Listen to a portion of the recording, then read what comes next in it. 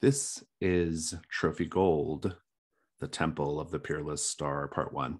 I want to begin by having all of us introduce ourselves. So when I call on you, please say your name, your pronouns, and anything else you would like for us to know about you. I will start. My name is Jason. I use he, him. They is also fine. I am the founder of The Gauntlet and the publisher of Trophy Gold, and I am the co host of the Fear of a Black Dragon podcast. Uh, let's go over to Alicia. Hello, I'm Alicia. I use they and she pronouns, and uh, I make and write for games. A lot of Brindlewood Bay stuff. I do have a Trophy Dark incursion. Um, I designed Paranormal Inc., which is a fun GM-less version of uh, Brindlewood Bay. And uh, yeah, that's me. Fabulous. Thank you. And David. Hey, yes, I am David. I use he, they pronouns. Uh, I am the host and producer for a podcast called Trials of the Apocalypse, where we play different PBTA games. Uh, and I've played with uh, Jason in a few things now, and no- most notably for this, uh, a, a, incursion in Trophy Dark. And I've never played Trophy Gold before, so I'm really excited. Fabulous. Thank you so much. And Kavya. I'm Kavya. I use she, her pronouns, and um, I'm actually just starting to dip my feet into the entire TTRPG online group. Fabulous. Thank you so much. And Jacob. I was almost on mute, but hi, I'm Jacob Waugh. I am uh, loosely experienced with Trophy Gold, have been lurking in the Trophy Discord for ages. More relevantly, I am also a professional game master with Start Playing Dot Games, and I help produce an indie TTRPG podcast called Diacast, where I and a group of friends help, uh, where I and a group of friends just throw ourselves at various indie RPGs. Uh, it's going for a couple of years now, and Trophy is on our list. So you could say I have a, well, semi professional interest in being here today. Fantastic. Thank you. And I want to begin by going over CATS. CATS is an acronym that I use at the beginning of every game I run in order to establish some basic expectations. It's a procedure that is. The it's a procedure. The acronym stands for concept, aim, tone, and subject matter. So the concept of Trophy Gold, Trophy Gold is a a game about treasure hunters, uh, adventurers who are going into the lost and forgotten parts of the world in order to uh, retrieve uh, treasures and uh, antiquities or whatever they can get their hands on in order to uh, make money and satisfy a drive that they have. They need this money in order to satisfy a very um, expensive goal that they each have. It is the game is a spin-off of Trophy Dark. Um, Trophy Dark is a game about treasure hunters who are doomed, and uh, Trophy Gold, the treasure hunters aren't quite as doomed; they're more desperate, and so we like to say desperate treasure hunters it is much more of a um, traditional sort of like party-based fantasy adventure game. So if you're familiar with things like Dungeons and Dragons or something like that, it, it's it's similar in somewhat uh, in in uh, purpose, I guess, but it's pretty different in tone and subject matter. Um, in terms of this particular incursion that we're doing, and that's what we call adventures and trophy uh, incursions. Um, it's the Temple of the Peerless Star. It was written by myself. Um, it was originally written or developed uh, as part of an old podcast I used to do called Discern Realities for Dungeon World. And then it got uh, published for Dungeon World, and then it got trans, uh, or it got uh, translated to to Trophy Gold, and it is now part of the core Trophy Gold book. Um, I don't want to say too much more about it than that, though. Okay, back to cats. So the aim, uh, the aim of us today as players is we are going to create characters, and then we're going to introduce them and then we are going to begin play. Um, after the session is over, we will have a debrief, and then uh, we'll be all set to go for next week. We'll be playing this over the course of three weeks. The aim of the characters is to stay alive and get enough treasures to satisfy their burdens. Uh, that is your main goal, and your, your dual goals, I should say. the aim of us sort of um, well like just sort of like as terms of storytelling our aim is to tell a good story. And so that might mean that your characters are sometimes in grave danger or danger they're not going to be able to escape and that's okay.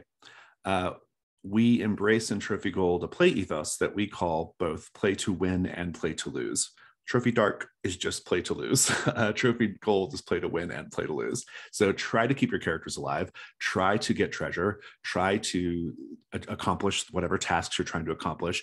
But if it goes south and your character looks like they're not going to survive, then lean into that and try to give us the best story that you can. The tone of the game um, is not quite as dark as Trophy Dark, but it is still pretty dark. Um, this particular incursion has um, is a much more sort of traditional dungeon crawl type thing, but it definitely has like some pretty uh, like dark religious uh, sort of like in, in, in, you know sort of um, uh, implications to it. Um, in terms of subject matter, uh, all the trophy incursions, or at least the official ones, helpfully have a uh, sort of little content warning piece on them, so I can say what is in uh, what sorts of things you might expect in this particular incursion. I need to look it up though real quick. Give me a moment.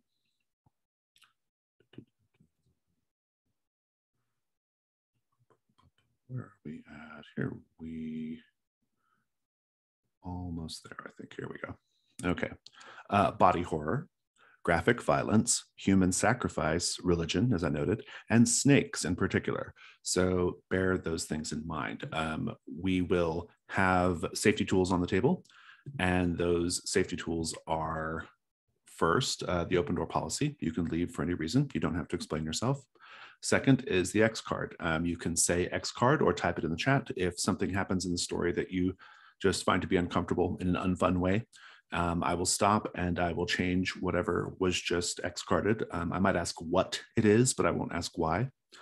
And then um, we'll also have lines and veils. Now, lines and veils will be handled on the uh, safety tab of the character keeper, which I will share with you in a bit. But basically, lines are things that you just don't want to have in the game story wise at all and veils are things that you're okay with being in the game, but you prefer not to role play them. Uh, these things that I've listed body horror, graphic violence, human sacrifice, religion, and snakes are pretty tough to avoid in this incursion. So, to the, to the extent that we can just veil those, that that'd be better. And if we need to do like a roaming line, we can. Like if it just gets like to be too, too much for people, you can just say. Um, but feel free to definitely uh, let us know on the safety tab. Um, I usually like to say what my lines and veils are, and you all will just put whatever you want on the sheet whenever we get ready to make characters. Uh, but as an example, um, I will put sexual violence behind a line. I'm not going to have that in the game. As a veil, I'm going to put torture. I'm okay with torture being in the setting. I just prefer not to role play it. So that is lines and veils. And are there any questions about cats? Okay, then I'm going to go ahead and share the character keeper with you all, and we will pause the video in order to make characters. Okay, let's go ahead and meet these characters. We're going to do very basic introductions. Um, name, uh, your character's pronouns, um, your burdens. Actually, no, don't worry about that. Just your name, your occupation, your background, your drive, and your rituals. Those are the most important things we need to know about right now. If you know anything about your drive at this point, maybe like what it means or what it means to you, you can tell us that as well. Um, or if you have any other like thoughts about your character's backstory, but it's okay if you don't, because part of what we're going to do is explore that as we play. So let's go in reverse order of the sheet and start with Jacob and Revel. Yes. Okay. So Revel is a they and a them. The um, they are occupied at. They are a zealot. Um, they are a zealot, and I mean, in the background it says they were a failed pilgrim. They they didn't fail. They just you know had a unique inspiration. They didn't get lost, and um, they are seeking um, yeah, they are they are seeking they are desperate for gold in order to um, properly demonstrate their appreciation for the tireless work that the justiciars of law and order do. There's no records that need to be expunged, none at all. He's got nothing to prove. Um, and I think it's a, just generally speaking, it's a countdown to when I start doing um, start doing my best impression of a um, of a, like a, a, an astropath from the Dawn of War games and going witness your doom, oh, and that's the only reason that I picked that doom ritual. Very good, fabulous. Thank you so much. And I don't think I have any other questions at this time, but like I said, I'll be asking plenty as we play. All right, let's go to Kavya and Esfahan. So, Esfahan, she, her pronouns. She was a banished dancer. Um, obviously, it was because the people did not appreciate her art. She did definitely did not make moves on anyone in any position of power that was already taken. And she is now an astrologer, spreading her um, wisdom to the people. And she wishes to someday become part of the swirling court. No idea what that means yet. We'll figure it out. And her rituals right now are ward and vapor. Fantastic. Thank you so much. And David, tell us about Osto. I just want to point out that I have longtime viewers of the video. We have an Osto and a Revel in this campaign. Uh, these are the two most commonly picked names in the game by a lot. I think there's an Osto in literally everything on my YouTube playlist. But that's okay, David. Your your Osto okay. is special and unique. Go. Uh huh. So, somehow I doubt that. Uh, so which which fields do we want to go over right now? Occupation, background, occupation, drive? background, and drive are the big ones. Okay. Uh, but also your rituals too. Okay, cool. So yes, I am Osto, uh, he, him. Uh, my, occup- my occupation is blacksmith. Uh, my background is an enlightened miner, uh, and my drive is to rebuild Hisham's fountain. Uh, my my general conceit is that uh, Osto was a, a, simple laborer. He sort of split his time in the mines and uh, doing some sort of, I think he was like on the path to becoming a blacksmith. Uh, and while he was in the mines, he found something of Hisham and like was given these visions that he must rebuild Hisham's fountain. And so that's kind of the the base of the character there.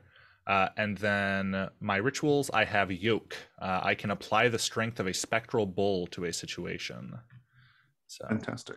I love it. I will point out, uh, just for you, David, so you know, um, there's mm-hmm. a whole chapter in Trophy Limbo about Hisham's Fountain. So you oh. can go read that at your leisure and have it inform your character if you wish. Oh, excellent. Um, I'll check so, that out. Yeah. All right. Thank you so much. And Alicia, tell us about Nevin, please. Uh, all right. So Nevin is my sexy lumberjack. Uh, he, him pronouns. Uh, he is a woodcutter, a former oppressed laborer. And uh, my drive is to free the kindly followers of the Piper. And I think that uh, I think that that's somehow tied to his background at this point in time. We'll see how that comes out. Um, also, it I think we've decided that Osto and Nevin are twins. Yes. I love it. And what rituals did you pick? Oh yes, I chose door and maze. Fantastic. Um, great. I love it. There is also a whole chapter about the Piper. So um, if we will, I'll get you those PDFs if you need them.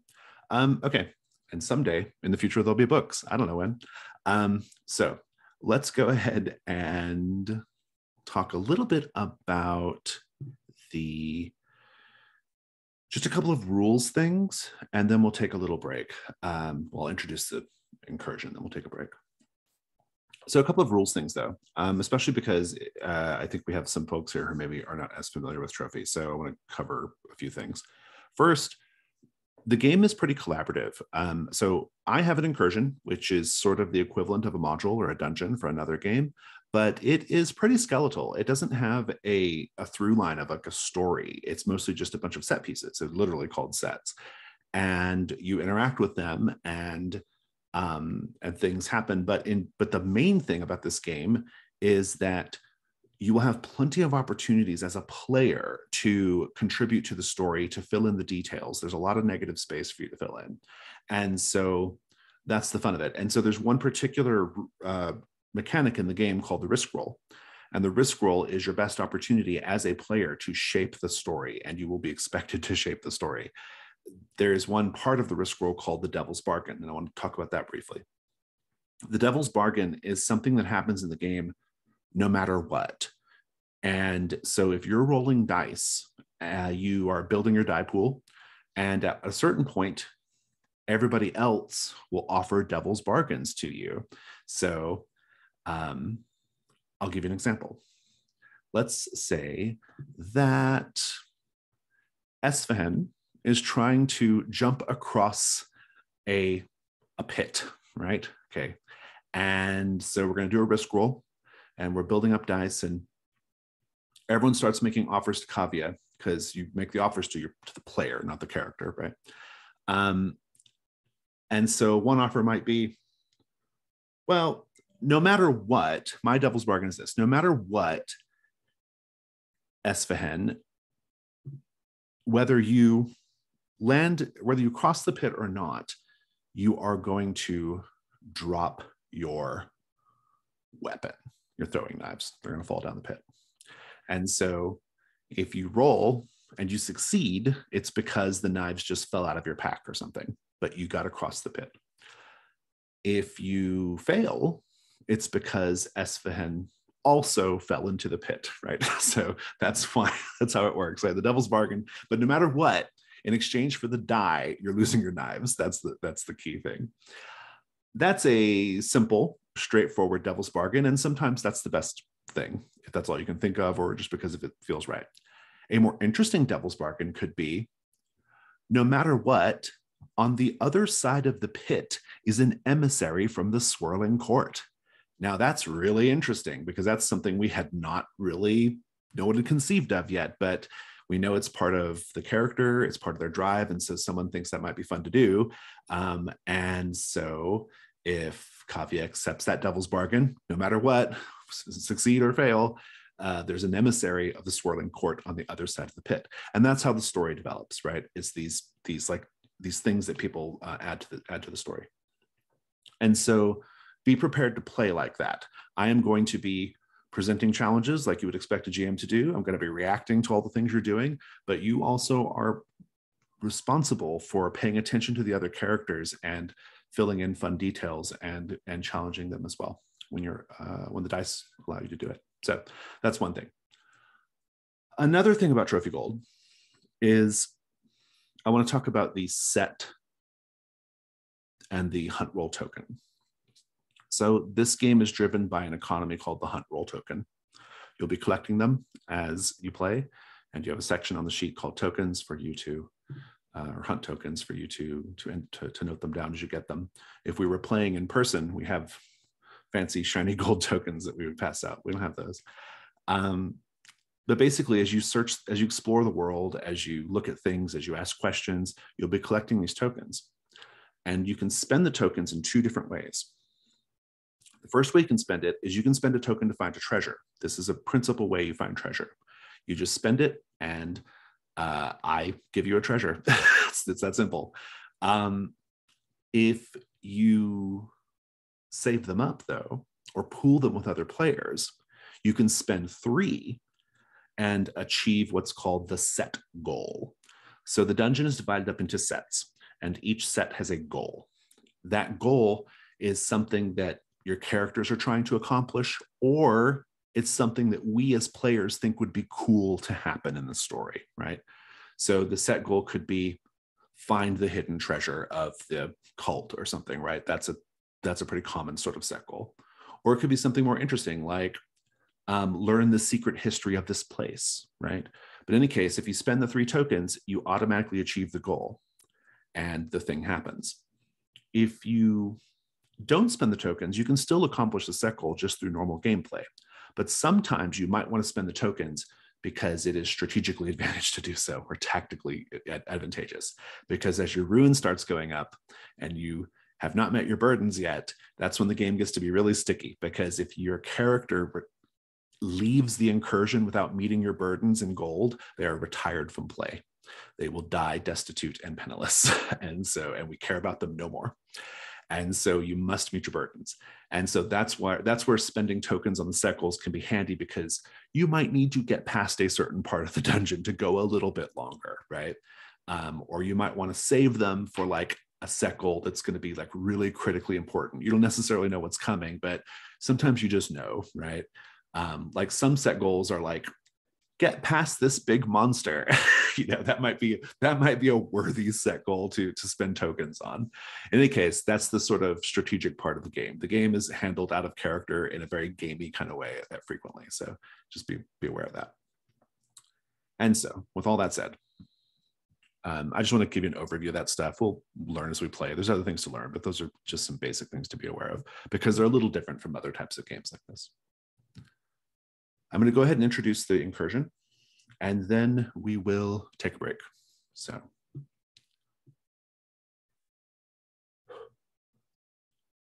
The Temple of the Peerless Star. The priests of the Temple of the Peerless Star in Amberet, Amberet is the capital city of the setting. The priests of the Temple of the Peerless Star in Amberet have declared a holy night an action they haven't taken for over 30 years, ever since Rahmet ils Nar, the star they worship, visibly dimmed from a bright, fiery white to a dull, sickly yellow. No one knows why they declared the holy night after so long, but the faithful are taking advantage of a rare opportunity to nourish their connection to the peerless star, pouring into the temple's main sept by the dozens in order to receive blessings from the star priests. I'm going to pose a question to each of you. You each are going to have your own question, and you can answer it uh, whenever you want. Um, when we get back from break, you can answer it next week. I, I don't care, but at some point, I, would like for you to answer it. In any case, I want you to think about it. And you may want to note your question down somewhere. I'm going to start with a question for uh, Revel, and from hereafter I will refer to you by your character name whenever we're talking about character stuff. Revel or Revel, I can't recall. Um, your question is Tell me about the constellation that was brightest in the sky on the night you were born. Has it affected your life for good or ill? Think on it. Esfahan. What great treasures do the priests of the temple of, or sorry, what great treasures do the priests of the temple parade in front of their followers during religious festivals? Think on that for a bit and then answer it whenever you wish. Osto,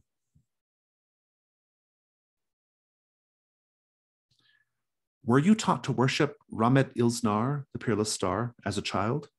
If not, how do your gods, or the gods of your community, view the star and those who worship it?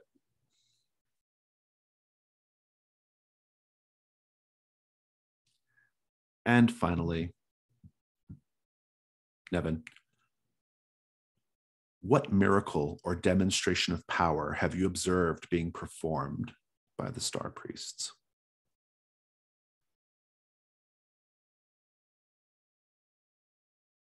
Now, you all have your questions, ponder them.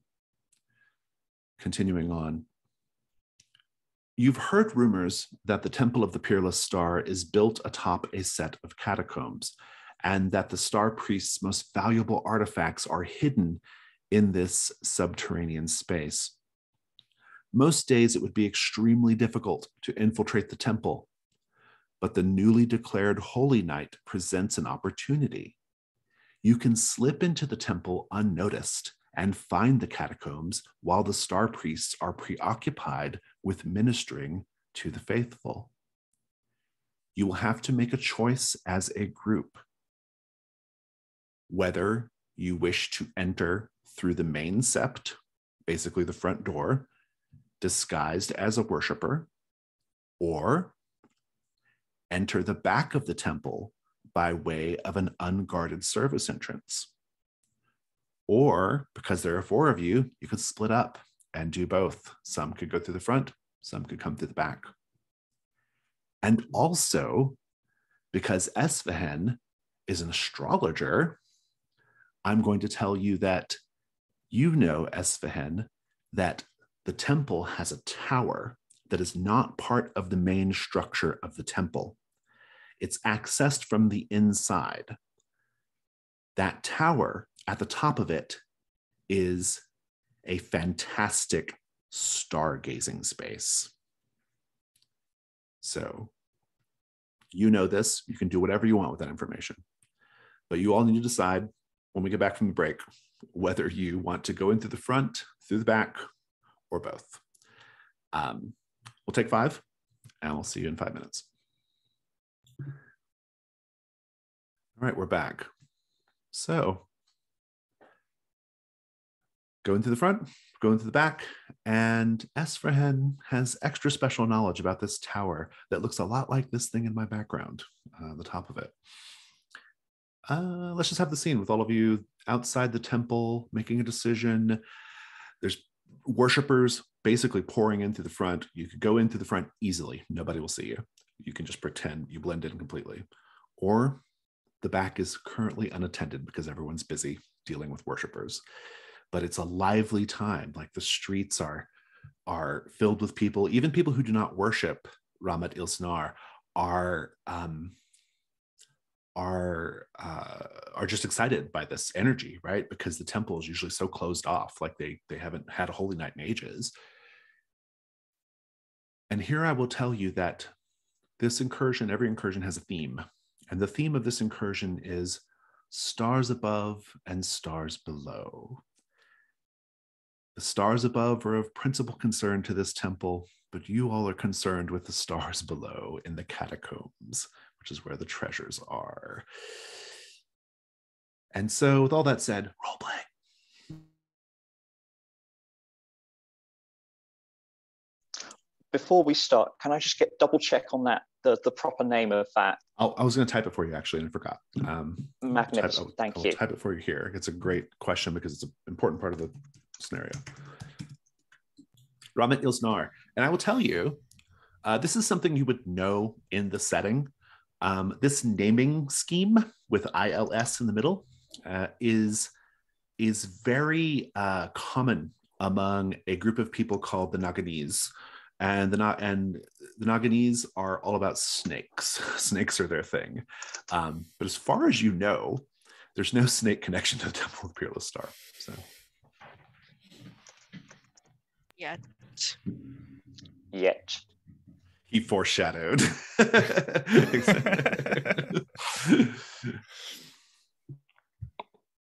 well, I don't know about all of you, but Nevin likes it in the back door.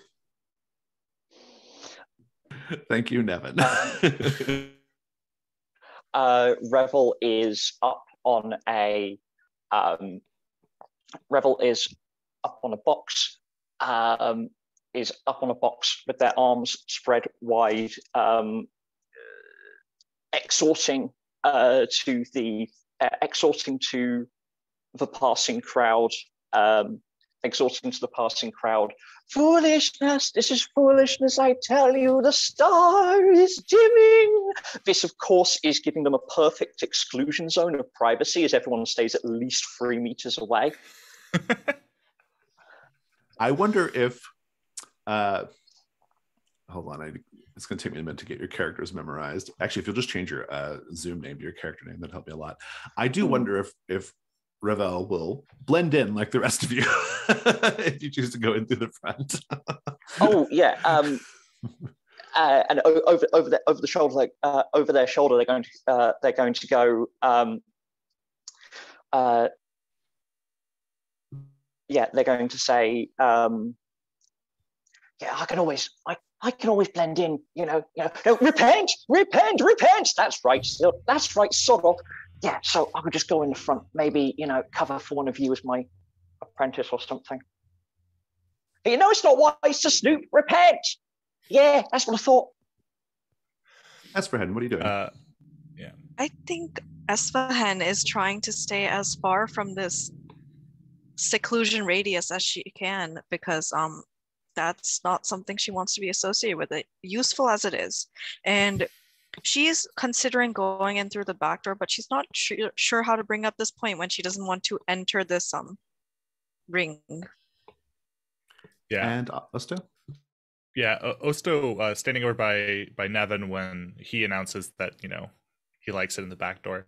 I think that's the place to go.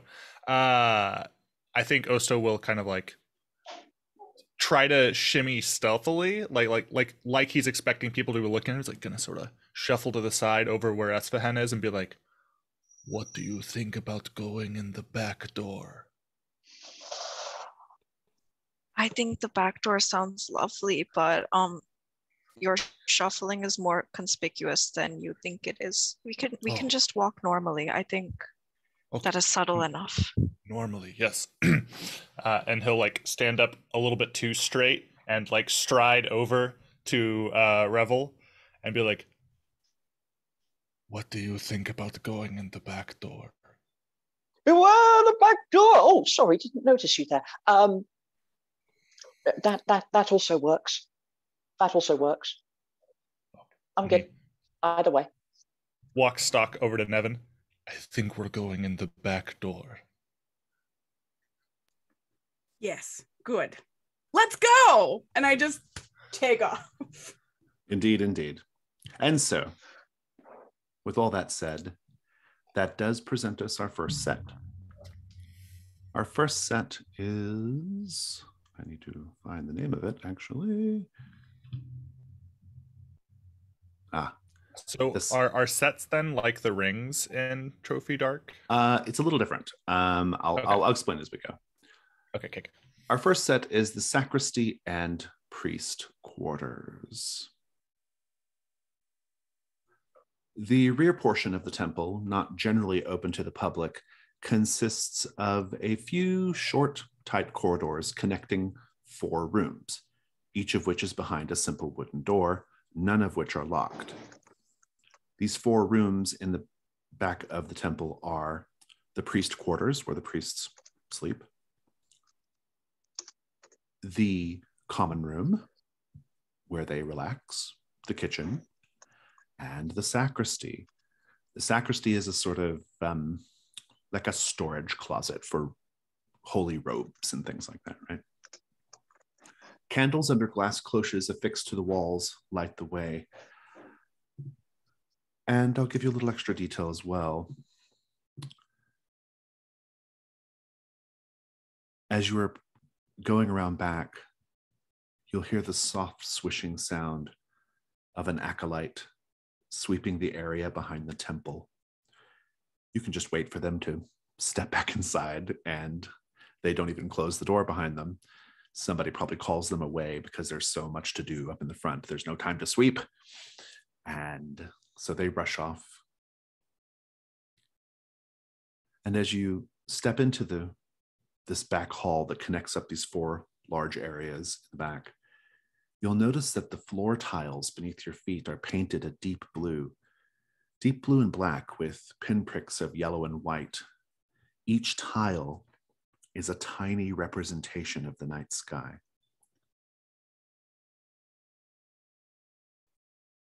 We have a set goal here. Our set goal in the for this set is to gain entry to the basement.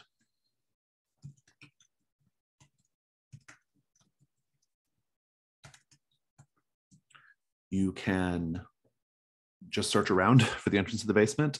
You can spend three tokens once you have them to automatically accomplish it. Uh, after you accomplish the set goal, you can still continue searching. You don't have to move on. You can still stay back here. But this this is where we're at. But you do have these sort of like four rooms that are connected by this hall: the priest quarters, the common room, the kitchen, and the sacristy. Esfahan, what do you do? So the first thing, as soon as she notices that the tiles are representations of the night sky, is um she kind of she kneels, does not crouch, kneels, and tries to look closer at them to see if they are accurate representations or just someone smattering paint to look pretty. I love it. Make a hunt roll. So if you go to the dice roller, just uh, the hunt roll, you either roll one light die or two light dice. Uh, you get one light die just for doing it, and you get two light dice if you have a relevant skill or piece of equipment that helps you.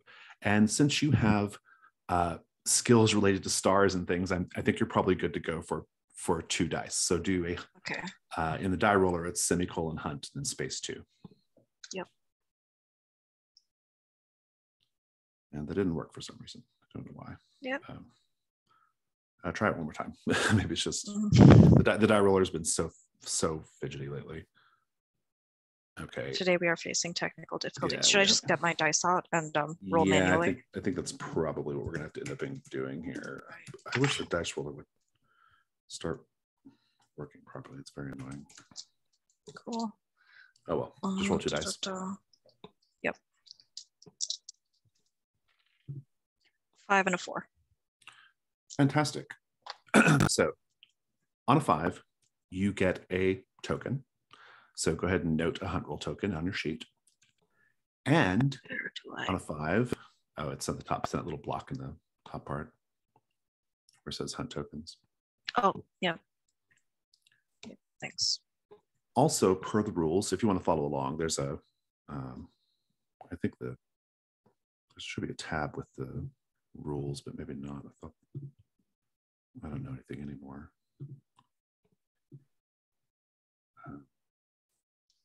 So, Maybe there's No. not. Uh, I thought the I thought the moves were on here for some reason. In any case, um, a five means a, a four or five means you get a token, but you encounter something terrible. And we'll talk about that in a moment. Nevin, what do you do? Well, Esfahan is looking at floor tiles. what are you doing, Nevin? I am going to take my axe, like the back of it, and just like tap on the closest door that's sort of to me and just be like, cheap wood. That and then I'm gonna my head in there. That may be true. Yeah. uh, do a hunt roll. I think the closest door is the uh, it's the actual priest quarters. So go ahead and just do a hunt roll. It's one Yeah, so- die unless you can make a case for two dice here. I mean, is it related to the wood? Maybe uh, you have don't beast know. strength, trails, and rebellion. I mean, maybe rebellion because we're like sneaking in the back door here, you know, Mhm. doing something. but also strength, because I mean, if he doesn't control the strength, it could just break and he could assume it's shoddy wood, but maybe it's not. Go ahead and roll two dice. I'll take it. a one and a two. Uh, so we're looking for the we always look for the highest dice, and you got a two, and that means you will encounter something terrible, and you get no token. We will come back to that. Osto, what are you doing right now?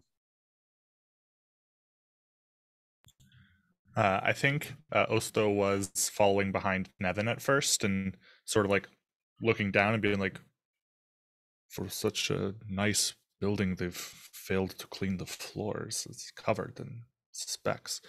Uh, and, and like Nevin taps on one of the doors and, you know, cracks it and starts to go in that way. And at first, Osto's going to follow him. Uh, and then he perks up. Oh, is, is that food? Uh, and I think he wanders towards the kitchen instead. Very good. We'll get to that in a moment. And uh, Revel, what do you do?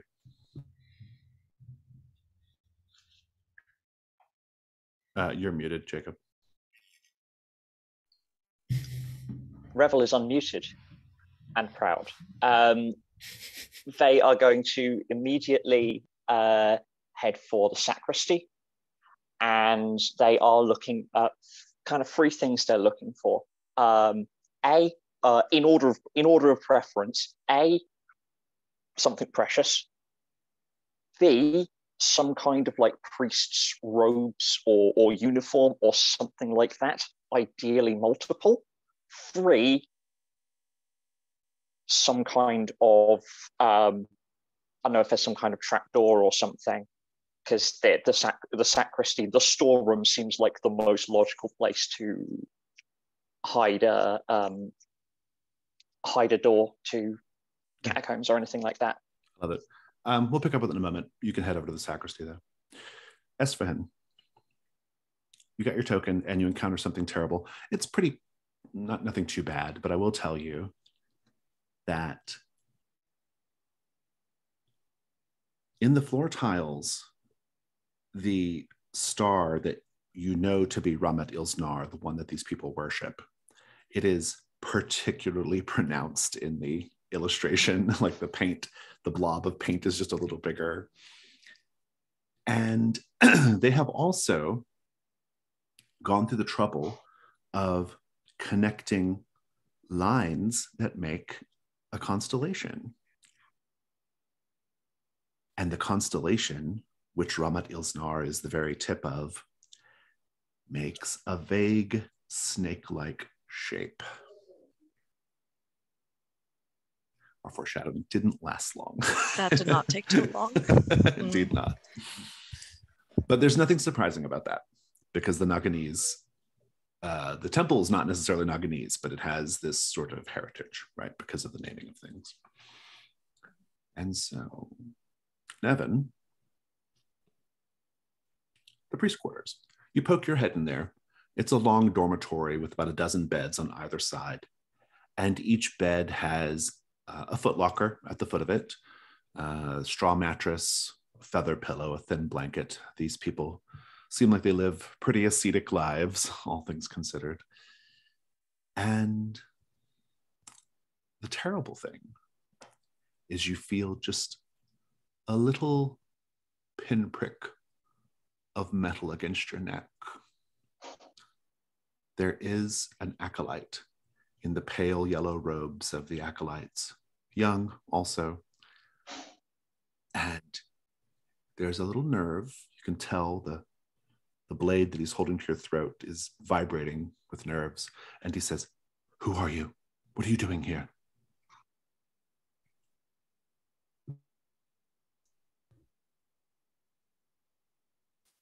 I am Nevin. I came in through the back door. I think you ought to go back from where you came, Nevin. This is a holy night. If you're looking for if you're looking for penance, or if you're looking for blessings from Rahmet ils Nar, you should go in through the front, don't you think? Nevin prefers the back door. Is there anyone with you? He says. He's trying to like look around. You look past you to see if you have anybody with you. Yes. May I hear this? Uh yeah, I think as you're walking away, you might overhear Nevin talking to someone inside, poking their head inside a, a room. What do you do? Um, look at the open door to the sacristy, sigh, about face towards the uh, t- towards the dormitory and go um, uh, and say, Nevin, my Nevin, my child, have we come across another member of the faithful? And just kind of like push my way, push my way in, um, confront the, and confront the acolyte, um, and say, "There's no need. There's no need to be alarmed. Fe- there's no need to be alarmed. Forgive my, um, forgive my disciple here. He is but a simple sort with a one track mind. We've come such a long way to be a part of this blessed festival. Very good. We'll come back to it. Osto, the kitchen. There's a cooking hearth, stone countertops, a pantry, utensils sort of strewn about. What do you do? I mean, there's a kind of a festival thing happening right now. Is there There's anything that's been cooked in here lately or anything sitting about food wise? Uh, tell me how you investigate. What do you actually do?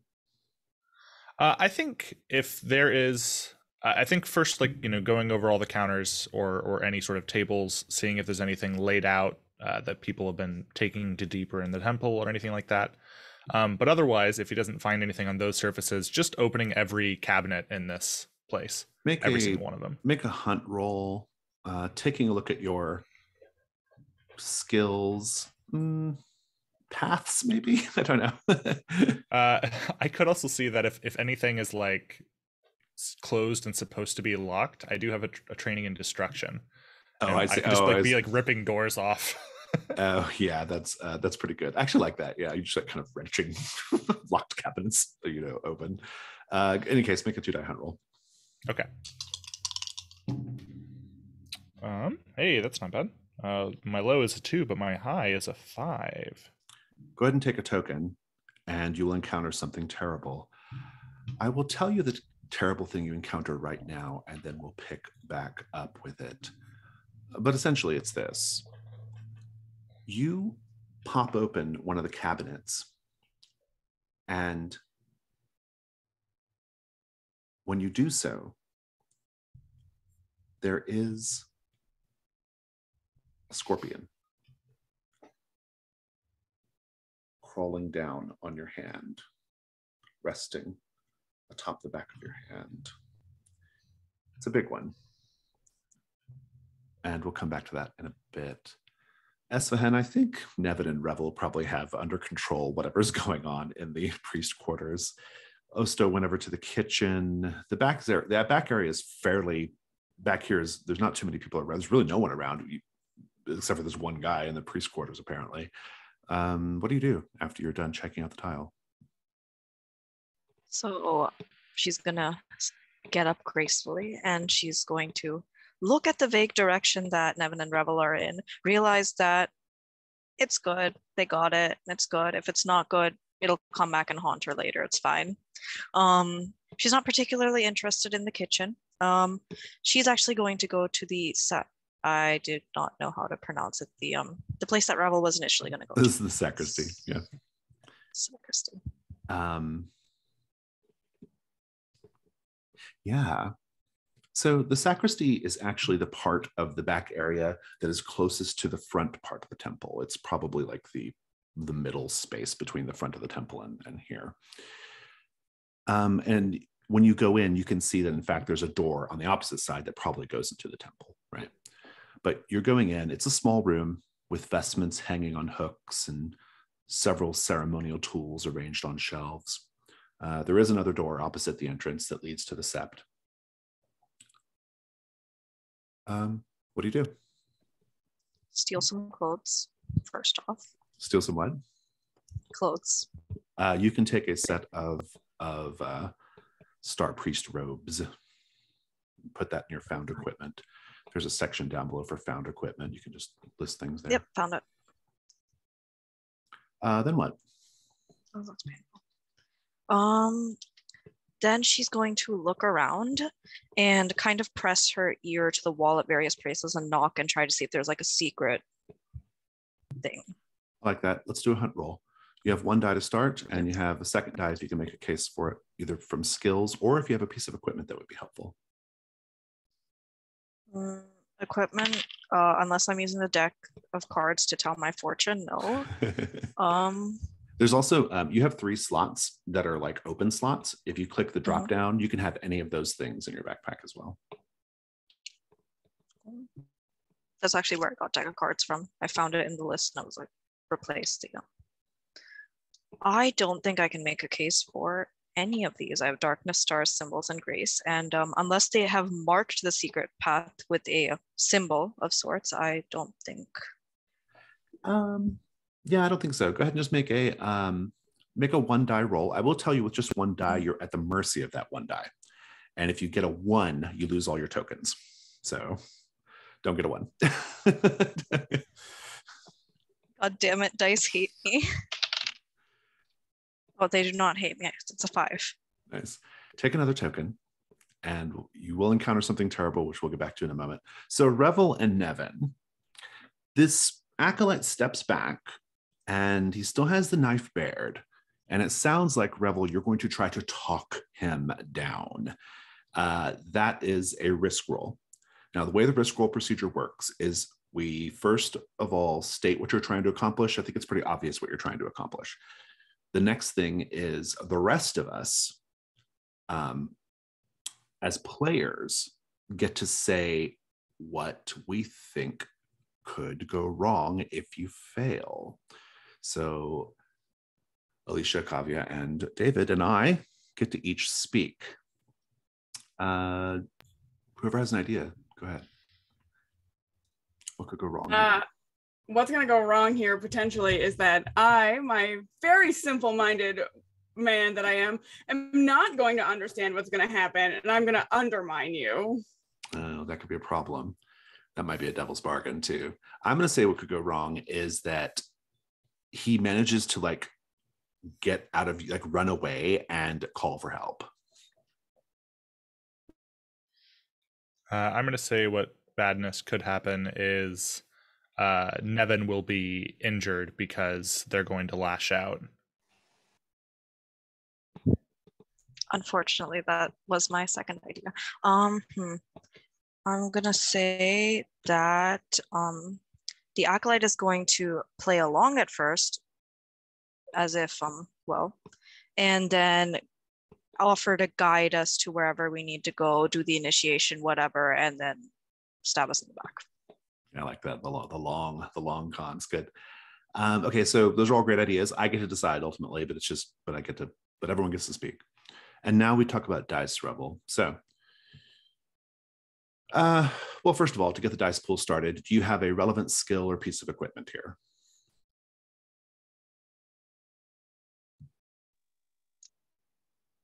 Depending on the route I take, I could, uh, I reckon I could argue for interrogation I like it. or yeah, uh, interrogation or potentially uh, rituals in the kind of just like talking shop kind of sense. Oh yeah. Uh, I'll either way. You're gonna role play it with however you decide, but I'll give you the first die.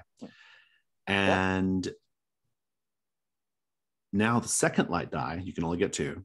The second light die is if you accept one of those devil's bargains, like I mentioned before.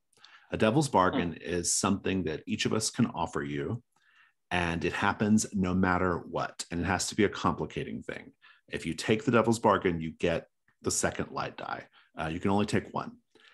And then you can add a, you can, we can talk about dark dice in a moment, but let's just do devil's bargains for now. Um, I will start by offering the following devil's bargain. No matter what, this acolyte, uh, actually, I'm going to say no matter what. Oh, I don't want to frame this.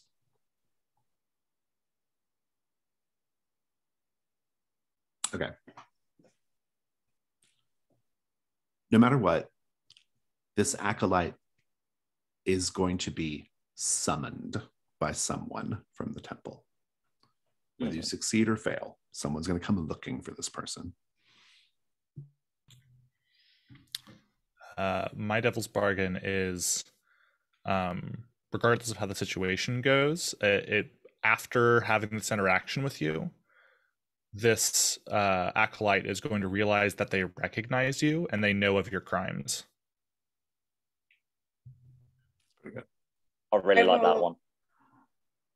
I, I was gonna just turn my my comp my bad thing into a devil's bargain and say that no matter what, I I'm gonna I'm gonna throw this in the trash and I'm gonna I'm gonna give up the game. You got, you got to deal with Nevin no matter what as well. um, any any thoughts? I'm gonna say that no matter what, this acolyte is going to have to be paid off to not mention that we're here. Yeah. So um, the way we would frame that as a devil's bargain, because that's to be, uh, I would probably put it no matter what this this acolyte is greedy. That way, it can be a fail or a pass, or yeah, um, money is of utmost importance to them. You have several interesting thoughts, Revel. I think I know what you're going to pick, though. Yeah, yeah, yeah. Um, no, I like the idea that I am. Yeah, I'll take I'll take the devil's bargain that I get recognised, um, specifically crimes, yeah. as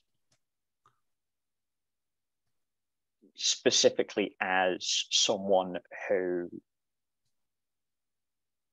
uh, an attempted pilgrim who kind of went rogue and ended up preying on pilgrim caravans as a bandit.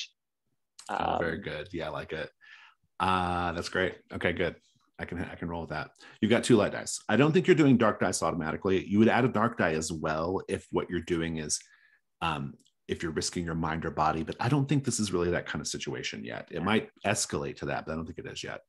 So go ahead and roll risk um risk two or two dice. two light dice. Yeah. Yep, cool. That is two fours. So a four is a success, but there is a complication. And then if you don't like the complication, you can add a dark die and try again. The Okay. complication is going to be so he is going to recognize you. The complication is going to be um, the complication is going to be he recognizes you because you actually were working with him and you're you owe him a cut of Oh, of some of- fantastic. right. And you you just didn't even realize like, oh shit. That's the complication. If you're okay with Oh, that, yeah. yeah. If you're okay with that, we can roll with it. But Absolutely. all right. That that works. Um, says- yeah, no, I'm absolutely fine with that complication. That's great. He puts the knife down and he says, I know you.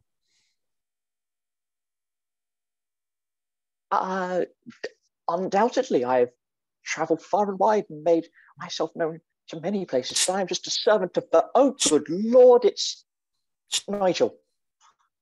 Yes. And you owe me money from the time that we tried to knock off those followers of St. Hester. You remember the pilgrimage? The great I, I- I cornucopia? maintain, I maintain.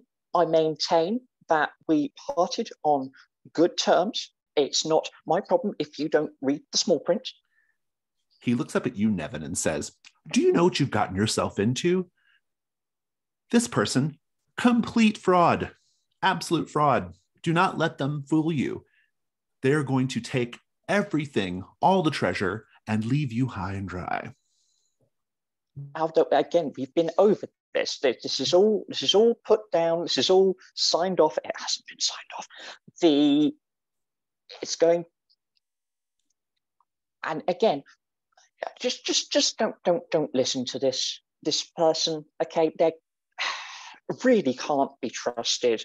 He I looks at you again, Nevin, and says, Have you ever noticed when you're sitting around the campfire, your friend Revel, is that what you're calling yourself these days? Your friend Revel takes just a slightly larger portion of the food. Have you ever noticed that? I have a very fast metabolism, all right? Okay, I just, I just sometimes you just need an extra little bit more to keep going. And while we're on the sub, while we're on the subject, while we're on the subject, at least I'm always, you know, the first up, the first to the task, and I have to drag someone's lazy behind out of the tent and cause a ruckus that spoils us getting a drop on people. Honestly. I'm curious, Nevin, what you're thinking right now. So I'm just like watching this unfold and I'm nodding very seriously. And then very abruptly, I say, I'm bored now. And I just go and start rummaging through things in the room. Very good. Make a hunt roll. uh, the die roller is probably not working, so you have to choose No. dice. I'm just trying to see if I have anything. Can I use strength to like bust open some like foot lockers and things like that? To get Uh, second oh yeah, I love that. Yeah, I think strength is perfect. Yeah, Two sixes. nice. Go ahead and take your token, and I'll tell you what you find, if anything, in a moment. Uh, let's cut over to, uh, and then while you're doing that, though, Nigel will say, "Well, well, he has the right idea," um, and he because he was probably in here also about to break open footlockers. so uh, let's cut back over to Esfahan for a moment. Esfahan, you got a token and a encounter something terrible, right? Um, Let me tell you what you find. So you got these deep blue star priest robes. There's also some bright yellow acolyte robes. You can take whatever color you wish. I will tell you something you do find that's um, incredibly interesting. There is a um, a brass censer. Uh, you know what a censer is? Like you put incense or powder in it, and then you like swing it around, and smoke, you know, fills the the, the space. There's this interesting brass censer there, and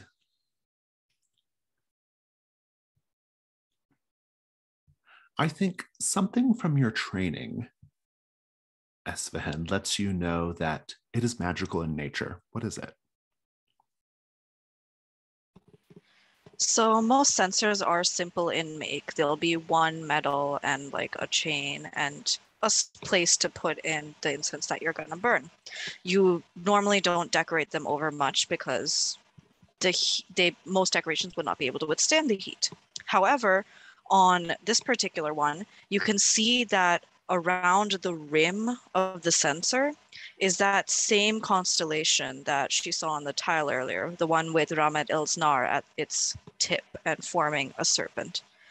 And each of those little stars is like some kind of precious stone. Not something you'd want on a censer unless you had it enchanted to keep. You can put that in your uh, found equipment if you wish. And however, that door opposite the one going into the sept, you can hear the chunk chunk of a key unlocking it. Someone's about to come in. What do you do? Am I fast enough? Can I put on the blue robes that I just picked up? Uh, we'll say yes. Um, Okay. assuming you would kind So of maybe be thinking that? about that, right? Yeah. Mhm. We'll come back to that. Osto, there's a large scorpion crawling on your back of your hand. Ambaret is lousy with these scorpions. Uh, they're a problem. They just get into places and they're they're poisonous. They're they're they're they're a pain in the ass. What do you do? Uh, well, uh, Osto in his uh, inventory has a uh, a set of studded gauntlets uh, in his equipment. So this scorpion is on the back of the scorpion is on the back of one of these gauntlets, and very quick as a reaction, he just takes his his offhand and just like whacks it over and just goes to smash this thing uh, instinctively. Doesn't even think about it. I think because you have Um, the studded gauntlets, I'm not going to make you roll. You can do that. Okay. Uh, so he does that. Describe it. and yeah he, he takes his hand and he just whacks it over uh goes to flatten this thing and when he pull, pulls his hand back it's still like twitching just a little bit on the back and he flicks the stinger away shrugs and then just eats it he came here looking for food uh, problem solved. Um, well, there's nothing. In the, the the cabinet seems fairly bare, apart from just like basic like pots of sugar and flour and things of that nature. Um, but there are other there. There's that's just part of it. Though there might be other places to search around here. Uh, there's a pantry as well. Yeah is there like any hole or crevice where the scorpion might have came through in the back of that cabinet or Oh, definitely. Yeah, you can actually see it. There's a hole like on the back part of the cabinet up to the top. It just at some point crawled up there and went down in. So yeah. Mhm. okay Uh, but anyway, what do you do after that? Uh, I think if he's if he's already gone through all the other cabinets, uh, I think he's gonna guess that maybe maybe that scorpion knows where it's going, and he's gonna like sort of like put his eye back to the hole in the cabinet, maybe poke his hand through. Okay, good. Uh, make a hot roll.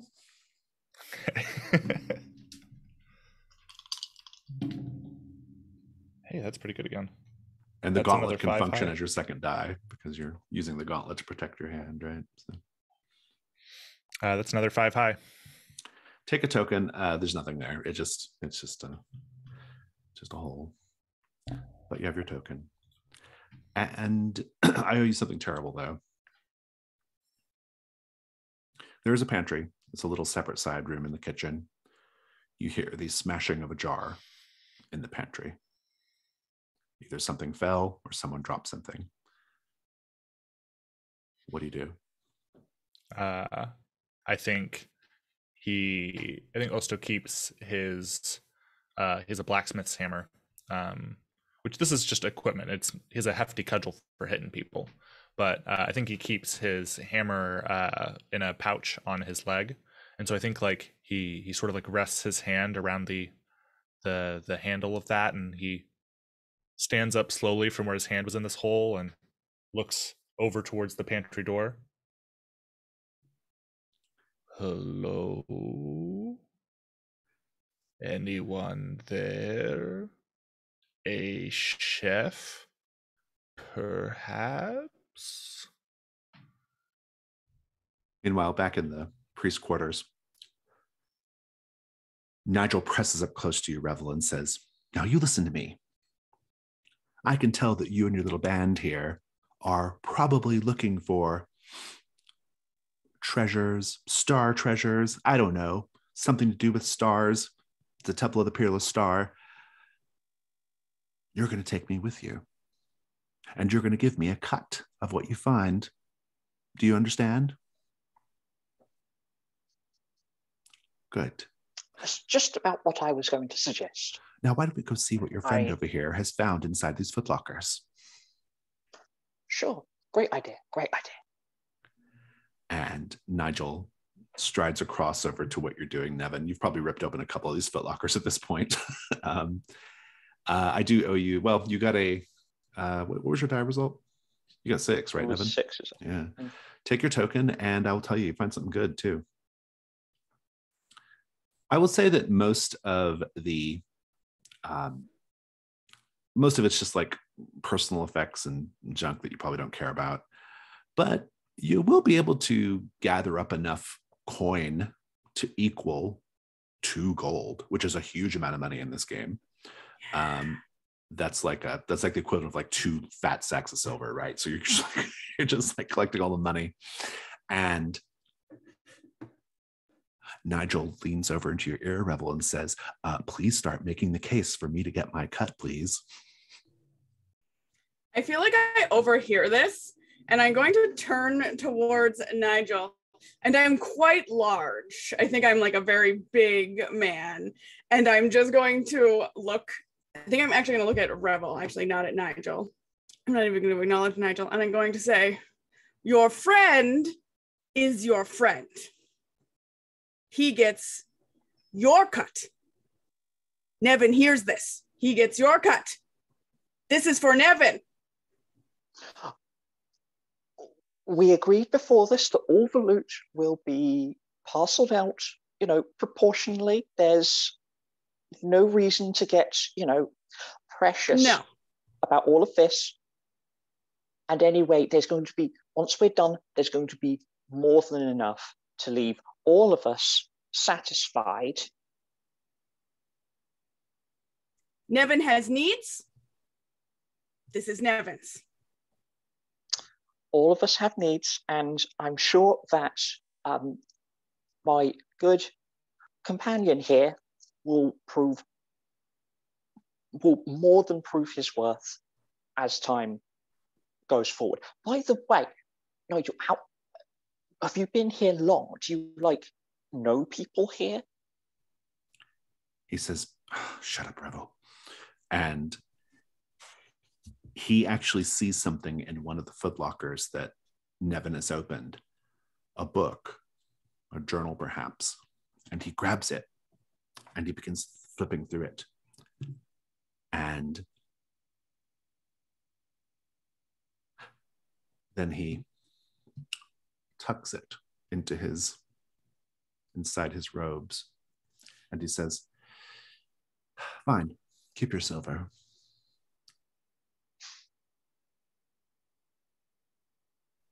and Nevin, Uh, you- is there a chance that I could have gotten uh, a, a glimpse over You his could have. shoulder? yes the pages depict constellations Mm.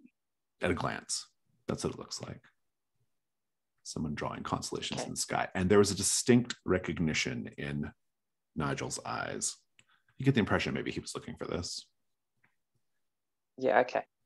so what do you do Um,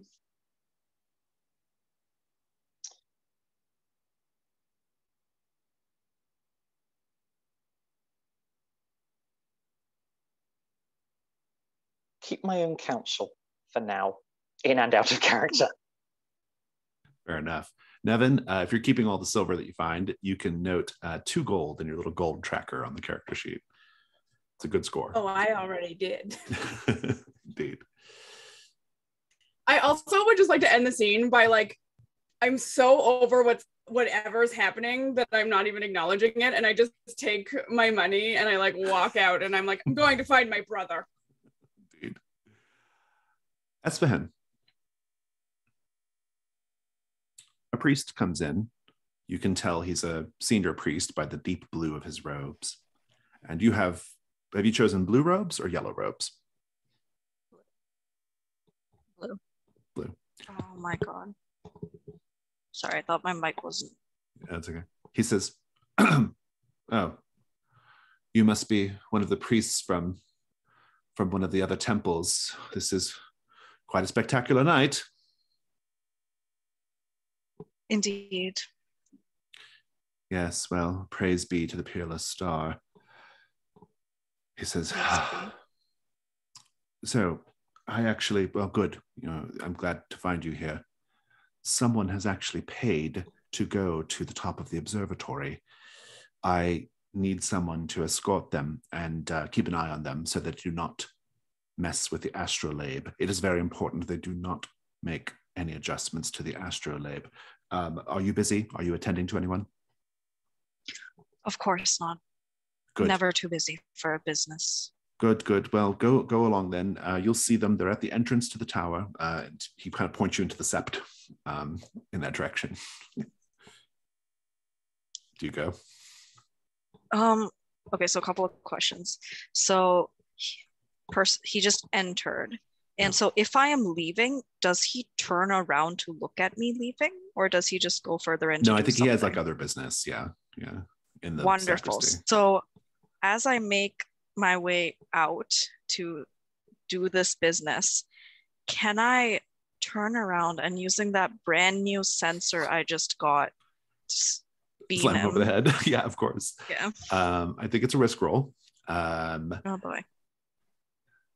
Jacob, David, Alicia, what could go wrong here if Esfahan fails? Uh, he could have a really hard head, and he just he doesn't go out. Like you, you've just started a fight with this guy, and he is not out. Yeah, I think there could be like other priests coming from behind, like or, suddenly. or I guess, oh, I guess there's also like the guy or person, whoever they are, who needs to be taken up, and maybe they're like waiting outside. I- Um, I w- I'm not sure if this counts as basically what Jason was suggesting, but I was going to suggest that it, you know, it boing, and um, people from outside the se- uh, out in the sept will hear the disturbance and come to investigate. yeah. I think I mean I think there's I think basically all the failures lead to you having to fight this guy or someone else. Uh, Alicia, do you have any other subtle shadings to No, that I'm gonna to add? I'm gonna say for, for a devil's bargain. Fair enough. Let's talk about dice. Is this Um, something I can choose to not go through with? Absolutely, you can do something different. You can The something different is yeah, backing out and going to meet this mysterious person because the observatory, I mean, she did want to take a look at it. She did very much. It's probably of tower. particular interest to interest to you if no one else in the group, right? Um, I will tell you that as you step into the sept, you get a oh well, it has the same it has the same set goal. The sept has an identical set goal of gain entry to the basement. So um, it's a it's a different way of well ish. Um, but in any case, you step into the sept. The sept is crowded with members of the faithful, and the blue robed star priests are ministering to them. Hymns are being sung, babies are being blessed, marriages are being performed on the spot, prayers to Rahmet ils Nar are being whispered, and so on and so forth. I will tell you that you step into the sept behind the main altar. So the, the entrance to the sacristy is right behind the main altar.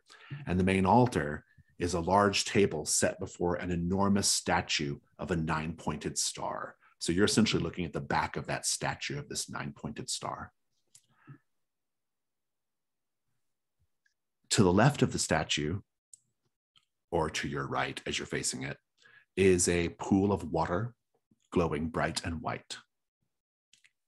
Behind the statue in the floor is a hatch in the floor.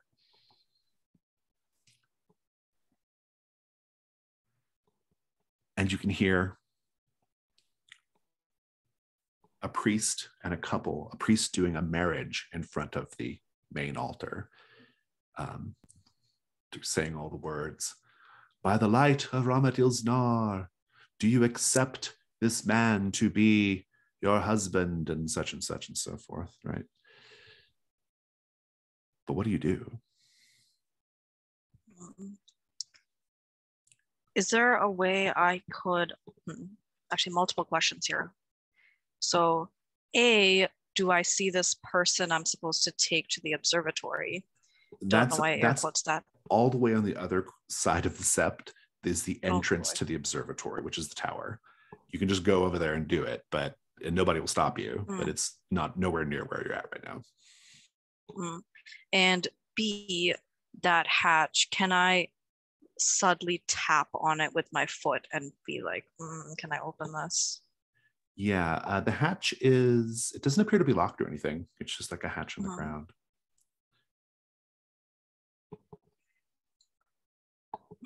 So I am going to, I'm going to assume I bought the censer with me. I am going to lean down and I'm going to start opening the hatch and wait for someone to stop me. We'll come back to that. Osto.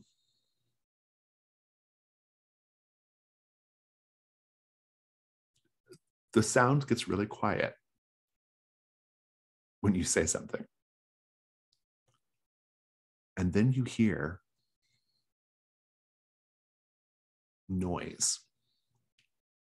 Trying to be quiet, but clearly like descending. Uh, I think while uh, Osto has been, you know, calling out these things, uh, he's been taking like steps closer to the door to the pantry. And uh, as he hears the steps receding, he's just going to haul back and kick with his leg as hard as he can and just try to shatter the door and see what's going on there. You see the pantry. There is a hatch in the floor. This person must have come up from that and now they've gone back down it.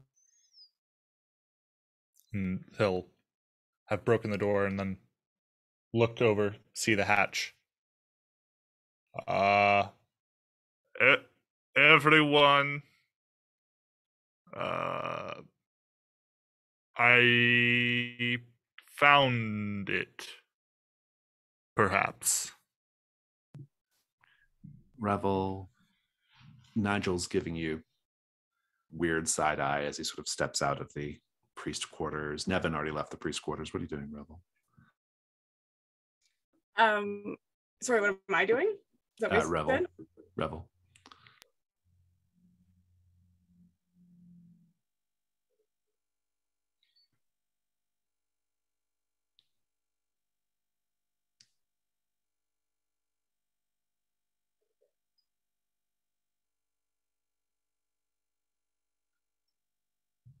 I'm going to follow him. Uh, follow him out. Mhm. Yeah, I'm going to follow him out. Can I? Uh, this is Jacob asking a question. I have. I don't really have a strong idea about uh, the question that you gave me. Um,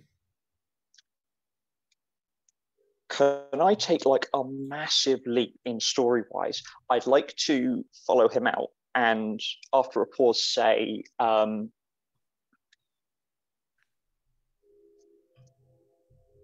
you uh, say, you found it, haven't you? You found the Dark Star. And he says, Oh, Revel, you think you have all the answers, don't you? And suppose I had. Or suppose I am one step closer to finding it. What would you say to that?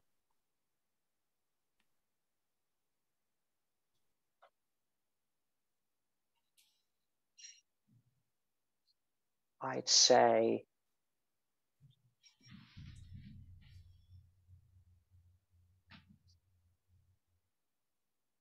this could be a very I'd say that it sounds like our goals are aligned. Indeed, they There's are. meant to be something. There's meant to be something of that star. The catacombs down below. It seems that the stars aligned to bring us together this night, Revel. Indeed. You realize, of course, that you're going to have to betray your little colleagues, don't you, in order to accomplish what you intend to accomplish? That's. Uh, they have their chance. They're in the game. They know what's at stake. He says, he looks at Nevin and says, I don't think he does. and then we will take a five More or less, break. as an aggregate. as an aggregate, indeed. We'll take five. I do want to hear about this Dark Star thing, Mhm. Revel. What you're thinking on this? I love it. I want to know what you're thinking on it is. My thinking on this is that the dark star is it's not an object it's an absence uh, whatever's going on celestially i don't know. For whatever reason sometimes something will pass in front of stars in key constellations obscuring them. Um, it's maybe it's one thing maybe it's a few things. Uh, it's highly irregular. Various people have claimed to be able to track their happenings, but there's never been like a publicly, like a, a properly defined thing. But yeah, these stars getting covered up, uh, this dark star happening is generally seen as an ill omen. And Revel is interested in this because he was uh, they were born under a dark star. And tradition uh, I say traditionally, I think in older times, um, in more ancient times, I think that uh, babies born under the dark star would have been uh, abandoned in the woods. Um, however, these are more civilized times, so they are simply ostracized, generally regarded as, as bad luck. And this is something that's dogged Revel all their life. It's the reason behind why they went on a pilgrimage in the first place. Um, and just acts as an all purpose it features as kind of just an all-purpose sword of Damocles that's been hanging over them their entire life. I think it's probably safe to say that Nigel has the same situation to deal Hmm. with, or maybe something similar, right? Maybe you bonded Yeah. over this in the past, right? Yeah. Indeed. We'll develop it more as we go. Nevin, you heard Osto call. What do you do? Um, I walk in, bags of cash, and I'm like, I also found it, maybe. How how are you how are you ahead of me already? Whatever. It's I will catch up as we go down this dark hole and see what awaits us. You know I love a dark hole. Indeed. Who doesn't? If you flip open the trapdoor, you will see a ladder going down. Now, somebody just went down it, Osto, but you don't, at a glance, you don't see them there. They may, they may have gone down and then run off or something. But what do you do? Uh, this is the pantry. Is there like a heavy bag of rice or flour or anything like that? Uh, sure. Uh, oh, I I just got a direct message from Espen for exactly what I was thinking. Uh, yeah, I'm gonna take whatever the heaviest sack of something soft is and just drop it down the hole and hopefully knock them off the ladder if it's long enough. I love it. I think it's actually a great move. Um, I'm not going to make you roll. You hear a thump. Ooh, ooh. Oh, we had a guest. I'm gonna look down. you will see that uh, the ladder goes down about like i don't know 15 20 feet and there are torches lit down there so you can see and there is a there is a a priest or cultist a, a blue robed person uh, laying flat on their face with a sack of rice uh, on top of them. Can I'm gonna I'm gonna call down to them. Then I'm gonna be like, "Hello, are you okay? There's Don't mind my brother's rudeness. there's no reply I think you may have killed him. Eh. Do you want to go first? Oh, I will take uh, that honor. Let me just. I, I feel like he's like just a little bit too big, and so like it takes a little bit of negotiating, but then he, you know, manages to plop through and starts going down. And as he's like going down, he like pokes his head up. And it's like, ne- Nevin, my my sweet brother, where is the others? let's check in with the others. Revel, um, Nigel is actually going into the common room. It's the one room that you all haven't been in yet down here. And he says, Go catch up to your friends. I'll catch up with you later. The um, did I hear Oslo going? Osto saying we uh, I found it. You did, yeah. Everyone but Um, Esfahan heard that. So Cool. Um,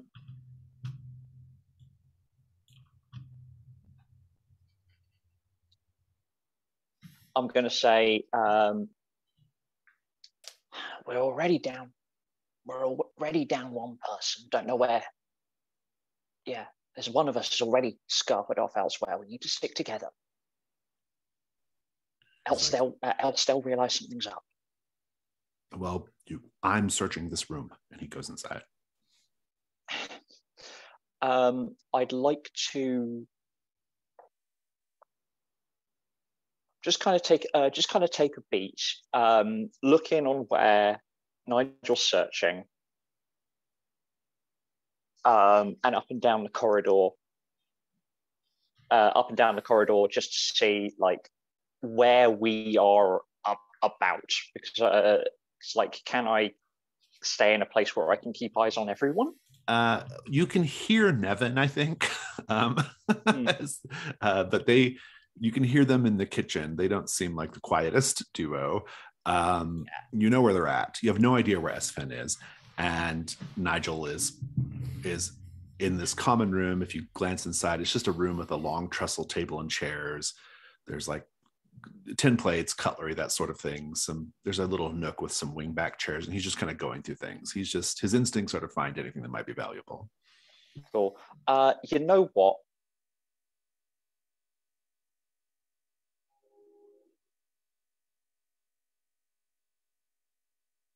I'm gonna pitch in with um, um, pitch in with Nigel.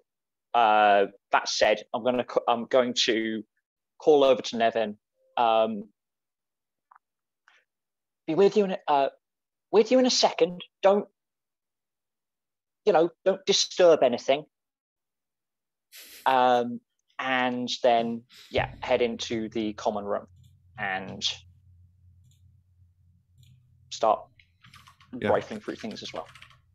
Um, you can do just a hunt roll to see if you you know. Cool. Are you just sort of just like tossing the place, kind of seeing what you can find? Uh, kind of a deal, yeah. Um, so One die unless you have a relevant skill or piece of equipment. yeah.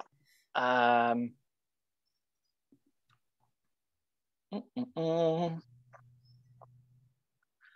could I argue for saints that I'll know, I'll recognize iconography and things like that? Yeah, I'll take it. Yeah, I like that. That's good. Cool. So two dice.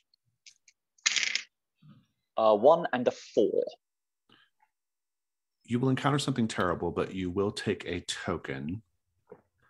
Um, I will tell you that you will notice that the tin plates do have punched on them an image of the nine pointed star, but they're just tin plates, and so they're not really worth anything. Um, and let's see what else might be in this room. Something that might get your attention, though, it certainly has Nigel's attention, is a tapestry hanging on the wall depicting an ochre colored sky with constellations embroidered in the ochre colored sky. The tapestry itself appears to be silk with gold and silver embroidery and probably worth a fair amount of money. Nigel is looking it over very carefully. He says, Help me with this. Not exact um not exactly easily concealable, I say, going to help him with it. Yeah, indeed. The complication, well, there's no complication. They just encounter something terrible. He says, How much do you know about the night sky, star brother? Um Or star brother, sister, are they them? What do we call you? star sibling. Uh, Star Starkin. Starkin. That's good. Yeah. Um as much as I ever have. Um, much as I ever have. Despite my best efforts, understandably it's hard to get um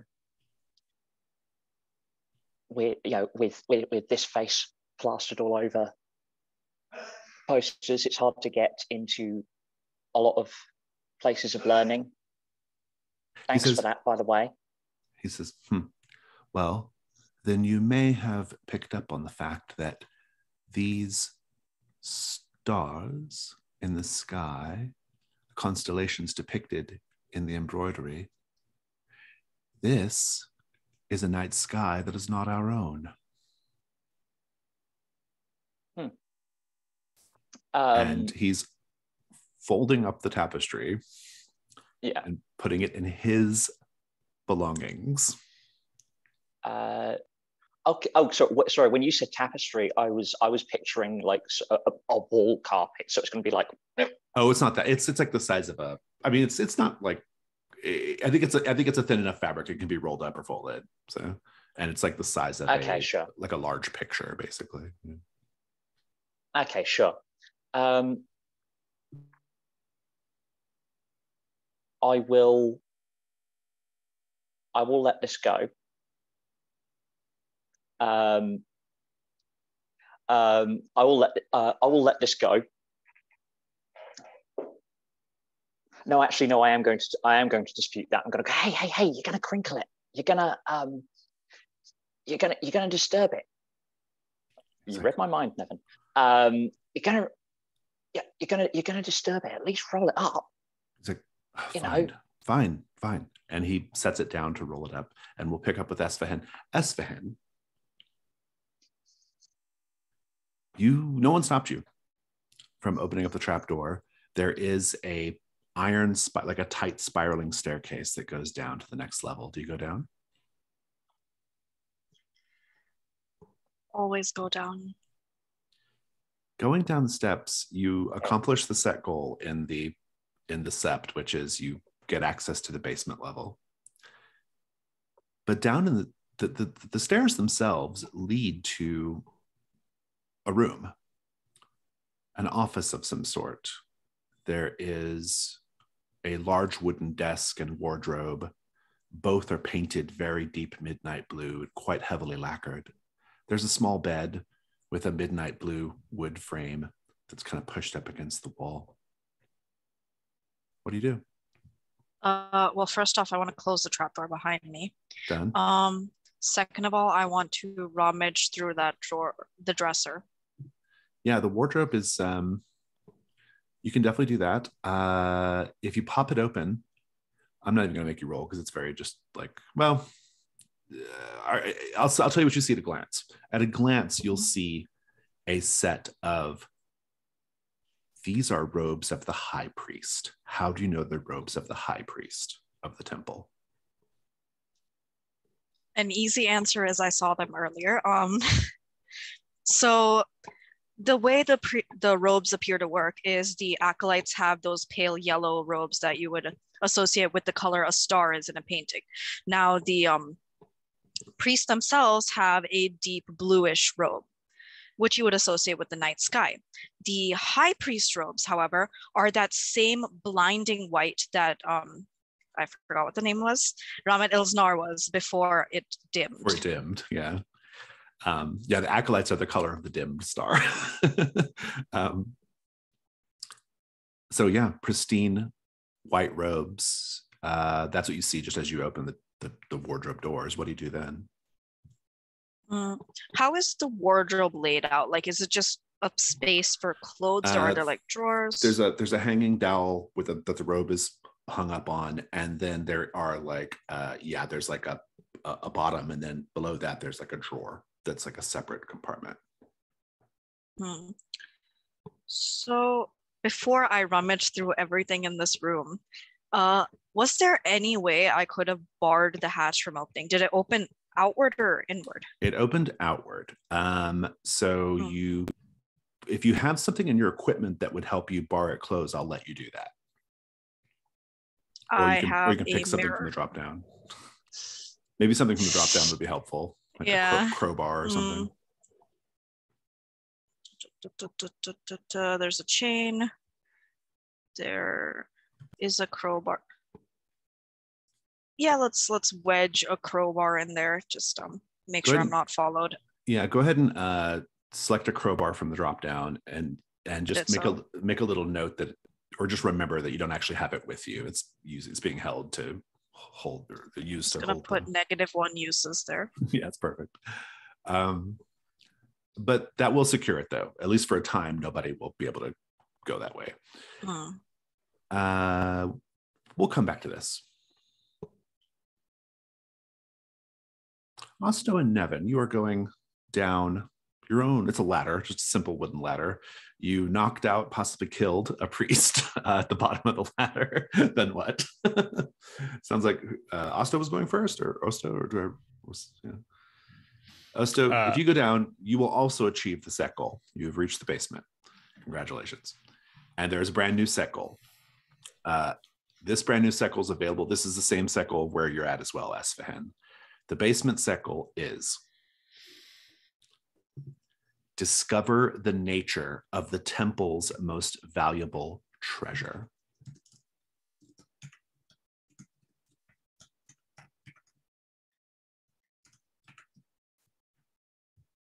Can you remind me uh, how hunt tokens are spent for set goals?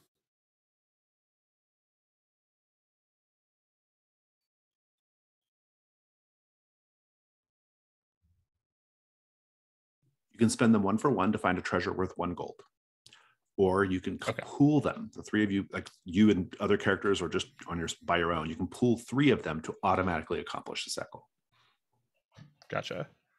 Uh, I'd love to hear how, what you think about this, Alicia. But I do think it would be kind of hilarious if uh, we spent collectively the two of us have three hunt tokens. Uh, if we spent them and like just found on this person's body details on the, the most valuable treasure. That I is do- 100% within your ability. Yes. I do love that journey for us. Um, I really do. Especially because I was gonna say, like, as I'm coming down, I was gonna be like complaining about how Revel thinks that I'm so dumb and it's not fair, and why does everybody always like underestimate us? yeah, it's like I, I I don't know, Nevin. I mean, I think you you've got such a good strong head on your shoulders and anyone who views you otherwise you just forget about them and they like sort of you know hits the ground nevin hits the ground uh you know goes over sort of pokes the body uh like checks the pockets of the robes of course uh and uh, what Are you we spending on? Are you going to spend them? yeah let's do it Okay. Uh, so both of you erase your tokens. And indeed, you will find. Da, da, da, ah. You will find a book.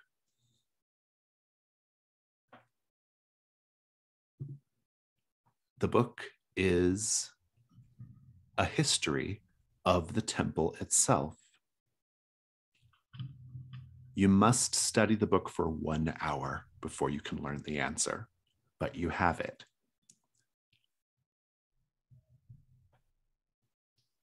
I do not think that Osto is a strong reader. It might take him two. Indeed. But the book with all the information is yours. And okay. the set goal is achieved. Whenever you or anyone else in the party takes the time to actually study it, a learned person might be able to figure it out quicker. Um, you will you will learn the actual nature of it, but you have the you have the information at hand. Yeah, I think uh, Osto like picks up the book by the outer, you know, leather bound cover and sort of like the way that you sometimes like will unfurl a poster, just sort of like opens it up like this and looks at it for a minute and then closes it and looks at Nevin. I th- I think we need to find Esfahan. That's a good idea. Let me tell you where you're at though. so the basement. The basement of the temple is a set of rooms connected by a series of short, and tight corridors. There are candles under glass cloches affixed to the walls that light the way, and they're all lit. If you just check a couple of these doors, they're all locked.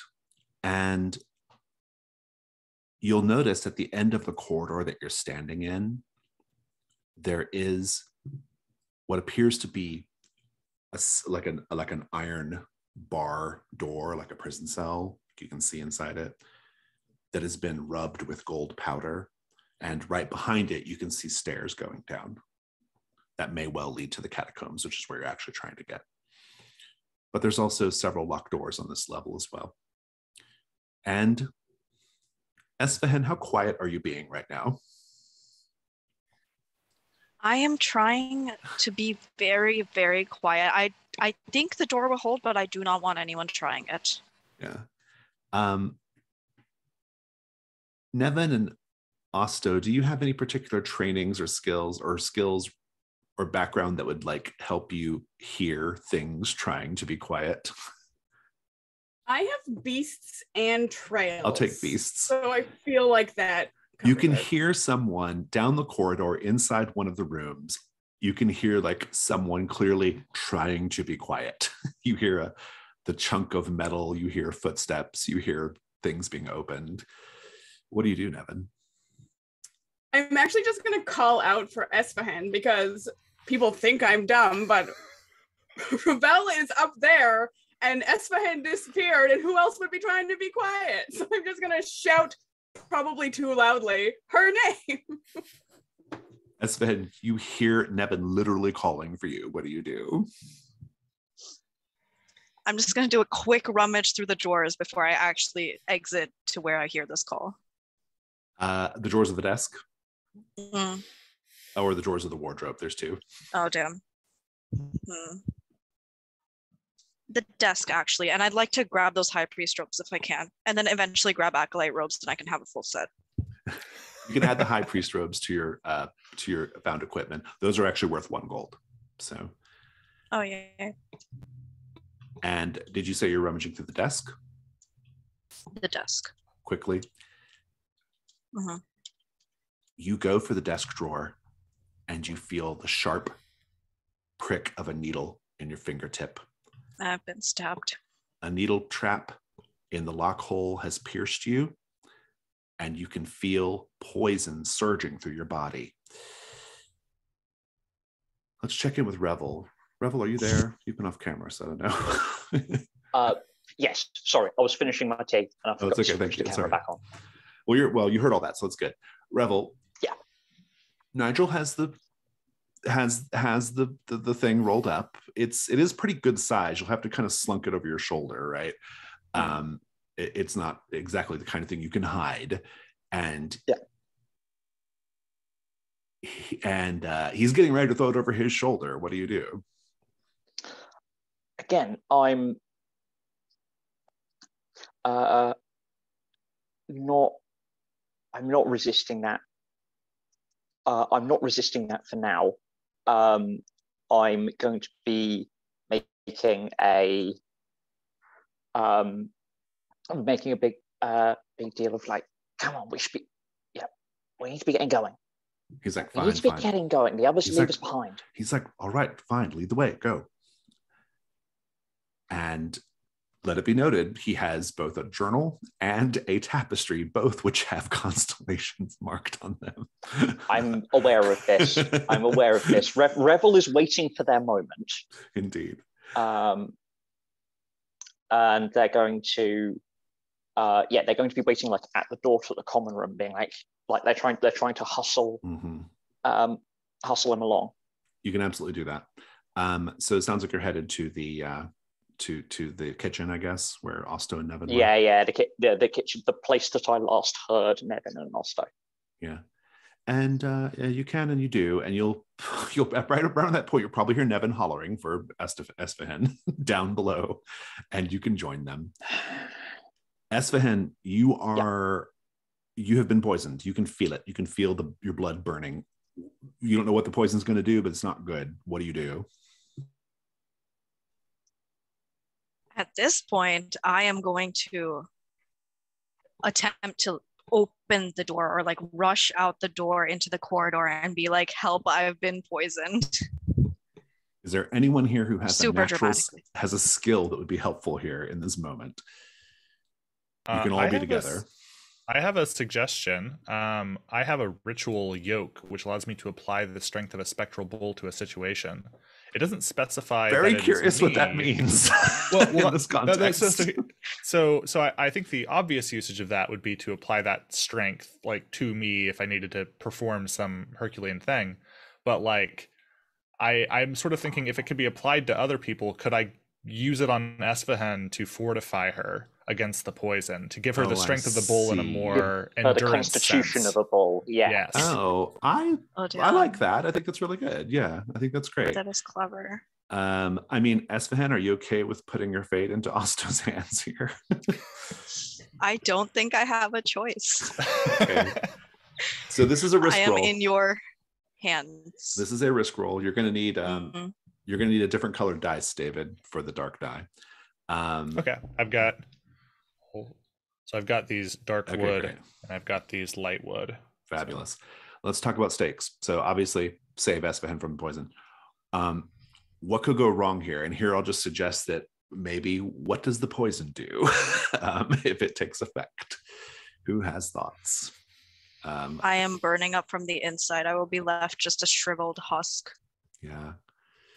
uh, I was going to suggest that it's not a it's not a lethal poison, um, if nothing else, because there's the chance of it accidentally injecting the wrong person.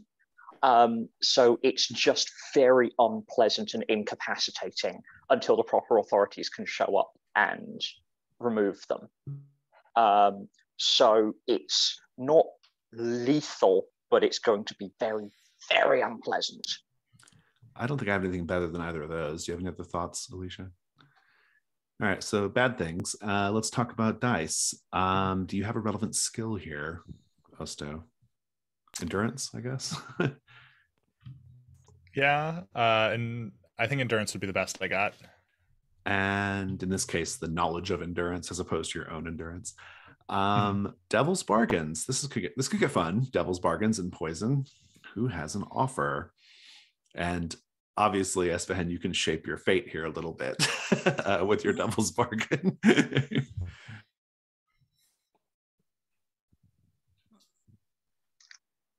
May I? Make your offer. Uh, yeah. I have an idea. Yeah. Um, that however this goes, whether you resist the poison or not, it's going to leave its um, it's going to have ravaged your insides in some nebulous manner, Hmm. um, which mechanically will be represented as plus one ruin. Mm, yeah, I think that's pretty Mm. good. Um, as a as a general matter, I think it'll it'll manifest as a condition. Uh, ruin Yeah, can sure. only ever go up on a dark die. There's like no other condition that will cause Uh, ruin sure. to go up, but a condition for sure. Um, I'm gonna say this will also probably be a condition, but I think that you somehow like become connected to the spectral bull just you know some spiritual sense or maybe even some other sense i don't know Oh no.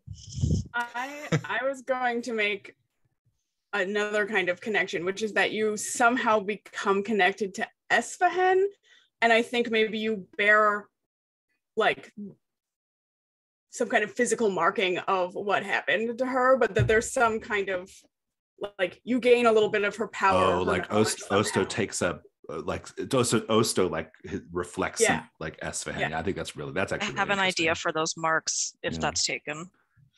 uh well you can offer it you can make your offer and your offer can be a variation of another offer for sure Um, hmm. So does it have to affect Osto or can it affect me? Like, it can affect I- it, it, it can affect either of you it doesn't matter but that Uh. it's it's it's it's uh, david cannot speak basically because david's making dice rolls so. as well. Yeah. So, um, hmm. I want to say that what what'll happen, regardless of whether you succeed or fail, is that um, the poison does not. The poison spreads from Esfahan into that spectral bull. And now, every time you attempt to apply the strength of that spectral bull, it's gonna be a little whack. Hmm.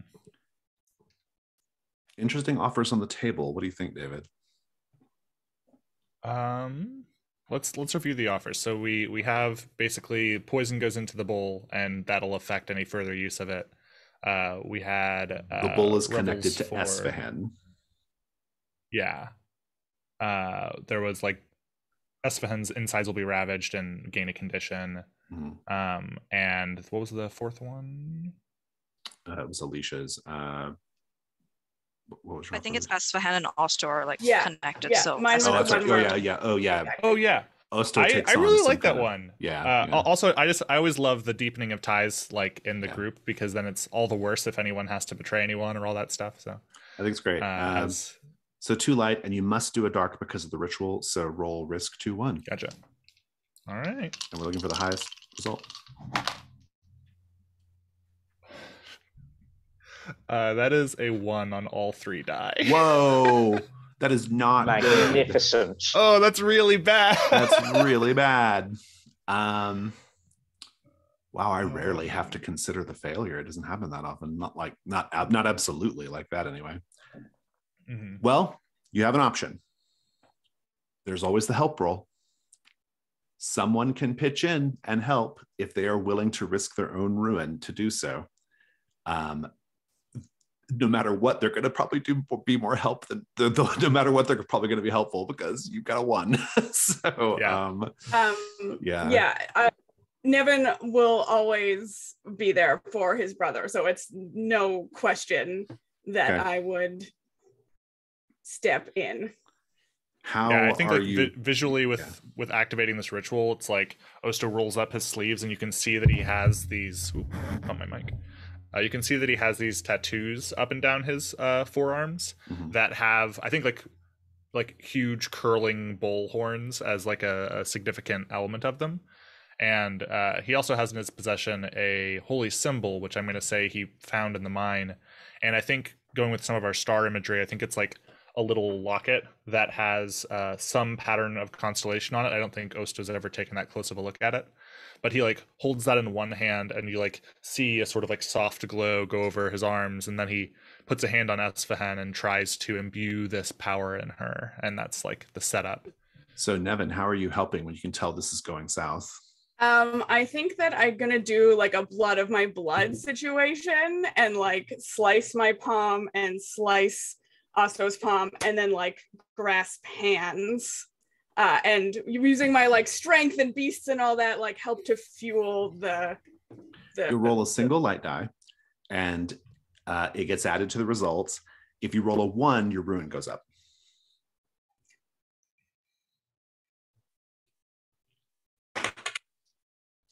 three. Three. Um, it's still a fail because one through three is a fail. Um, it's still a fail. It's not as bad a fail. Uh, I don't think it's as quite a a a, a critical uh, failure.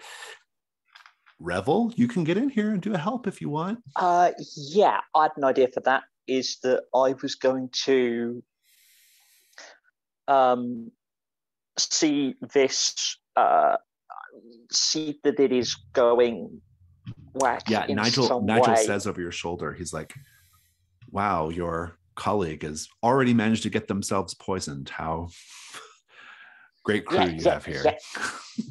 yeah, yeah, yeah. Everyone has the first time. And then I'm going to um, uh, dig around in my backpack and I'm going to produce a bottle of, or, or a small vial of um, a small vial of um, holy water, Okay, good. Yeah. um, which I'm going to give to um,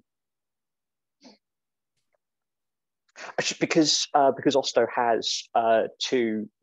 Osto has one hand on Esfahan and one hand uh, being gripped by Nevin.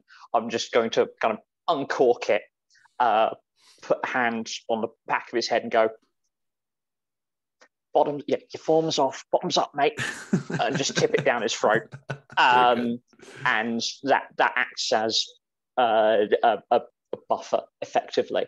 roll a light die. If you're if it comes up a one, your ruin goes up, but otherwise it counts as part of the roll. Cool. It's a four. It's a success thank finally. It is a success. Um Esfahan, if you want to risk it, you can help and try to bump it up to a six. A six will be a full success. A four is a success with a complication. The complication is just going to be I'm going to give Esfahan uh, and Osto a condition that from this the trauma of this experience. But otherwise, if you're okay with that, Esfahan survives. So, um, Uh, yeah, I very rarely roll sixes. That is not a risk I want to take. okay, fair enough. Um, well, it's still ultimately your role, Osto. So go ahead and describe how you save Esfahan from the poison. Yeah. So uh, from where uh, Osto's hand is in contact with Esfahan, you see like the tattoo almost like come to life on his arm. I think this is his first time like trying to push it onto someone else. So like that's why this is going so sideways. Uh, but uh, the tattoo, uh, like on the surface of his skin, kind of like weaves and crawls its way off uh, and onto Esfahan. And I wanted to ask, because you said you had an idea as well for marking. I think there's an exchange of marks here, as you're going to gain one half of this bull horn tattoo, and I'm going to gain something from Esfahan. What what does Osto gain from Esfahan? So I was thinking because I don't think Esfahan has tattoos, so it Mhm. wouldn't be an exchange of tattoos kind of thing. Yeah. But I was thinking that the part of the bull that remains with you, we now see a piece of like silk that's embroidered with constellations kind of wrapped around its horn. Oh, interesting. So it like yeah, alters. banished dancer astro- astrologer. Yeah. Cool. fun. Yeah, I like that.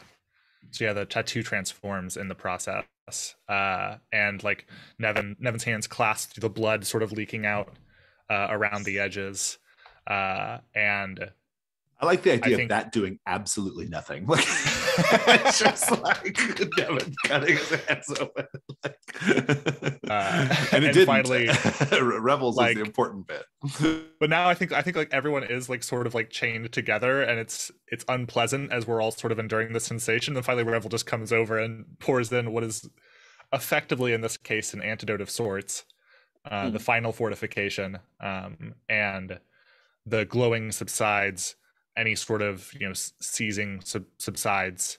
Uh, and hopefully the pain mostly subsides. Although there are conditions that are coming out of this. So, what, what's what's left over? Conditions. Uh, Esfahan, you're taking the condition just exhausted or drained, put drained. Uh, that one's simple enough. Osto, your condition is going to be called Star Bull.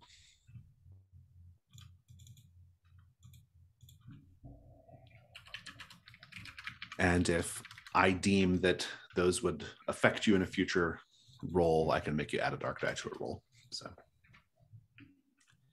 and um, that was a great scene, great moment. Um, I don't know that we can top it today, so I think we'll just go ahead and call the session uh, with everyone taking a breath, having uh, Esfahan brought from the from the brink, and the book. I will tell you about the book, assuming you give it to Esfahan at some point to read through it. like right as Esfahan comes to from Okay, we found this. Osto's just like, oh, but by the way, you're Esfahan's like, oh, thank you. How I'm so grateful. And you're just like, book. Here's how you think. Here's how you help us. Um, Nigel is leaning in close to hear the story, Revel, as Esfahan reveals all. But hmm. essentially, this book is a history of the temple itself. You will learn the book details that the most valuable treasure in the temple is Ramet Il's No. Ramet Il's No, a variation of Rahmet ils Nar, Ramet Ilsno is the starlight serpent, a beast the Mhm. priests believe to be an avatar of Rahmet ils Nar. And there is a handwritten page at the end revealing that the egg, or the, sorry, revealing that the serpent has laid an egg for the first time in a century this is almost certainly why they have called the Holy Night. I would also ta- like to take a moment to invite you all to answer your questions if you wish. Your questions that were posed, if you have some answers, you can tell us about it. You already kind of did, Revel. Um, but if you have something to add, you certainly can. And if anybody else wants to answer their question, they can. Uh, the question Osto had was, uh, were you taught to worship Rahmet ils Nar as a child? Um, and I just sort of paraphrased, or like, how do those in your community view the star and those who worship it? Um, I don't think that Osto was particularly taught to worship anyone or or anything uh, growing up. I don't think re- I think religion was like the furthest thing from his mind. First, first and foremost was getting food in his mouth and in his brother's mouth. Um, and so it was like a real shock to him when he you know found this object in the in the mines and then like started to have these this hear this voice and see these visions uh and i think he's been brought to this place but he doesn't actually know who the god is that he's listening to it just all feels so important to him that he kind of feels compelled to go along with it um and it has led him here and so who's who's Rahmet ils Nar? Mm, I don't know. Uh, but my God, whoever they are, told me to come here in order to prepare and gain what I need in, in order to fix this fountain. I do. He does know his mission, but yeah, that's my answer for Osto. Thank you. Would anyone else like to answer their question now or wait till next time? I think I'd like to wait till next week for mine. Okay. Same with Nevin, looks like. And Revel, we already kind of learned yours. So very good. And so, with all that said, we shall do peerless stars and wishes. Um, stars and wishes is our uh, our debrief technique. Um, stars are things that you enjoyed about the session. Um, maybe something another player did, something about the characters, something about the uh, the adventure, something I did, um, something about the system, uh, and as many things as you wish. And wishes are things that you hope to see next week in the story. So whoever would like to go first, take it away.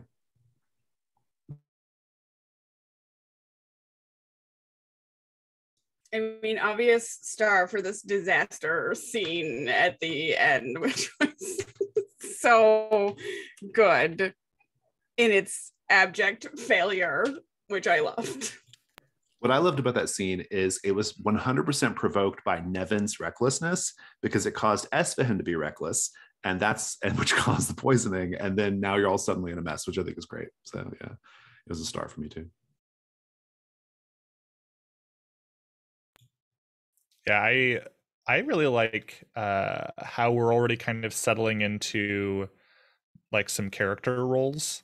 Um, like Alicia and I barely did any prep before this. Just like, oh, maybe we should be related this time because we've played in a few games together.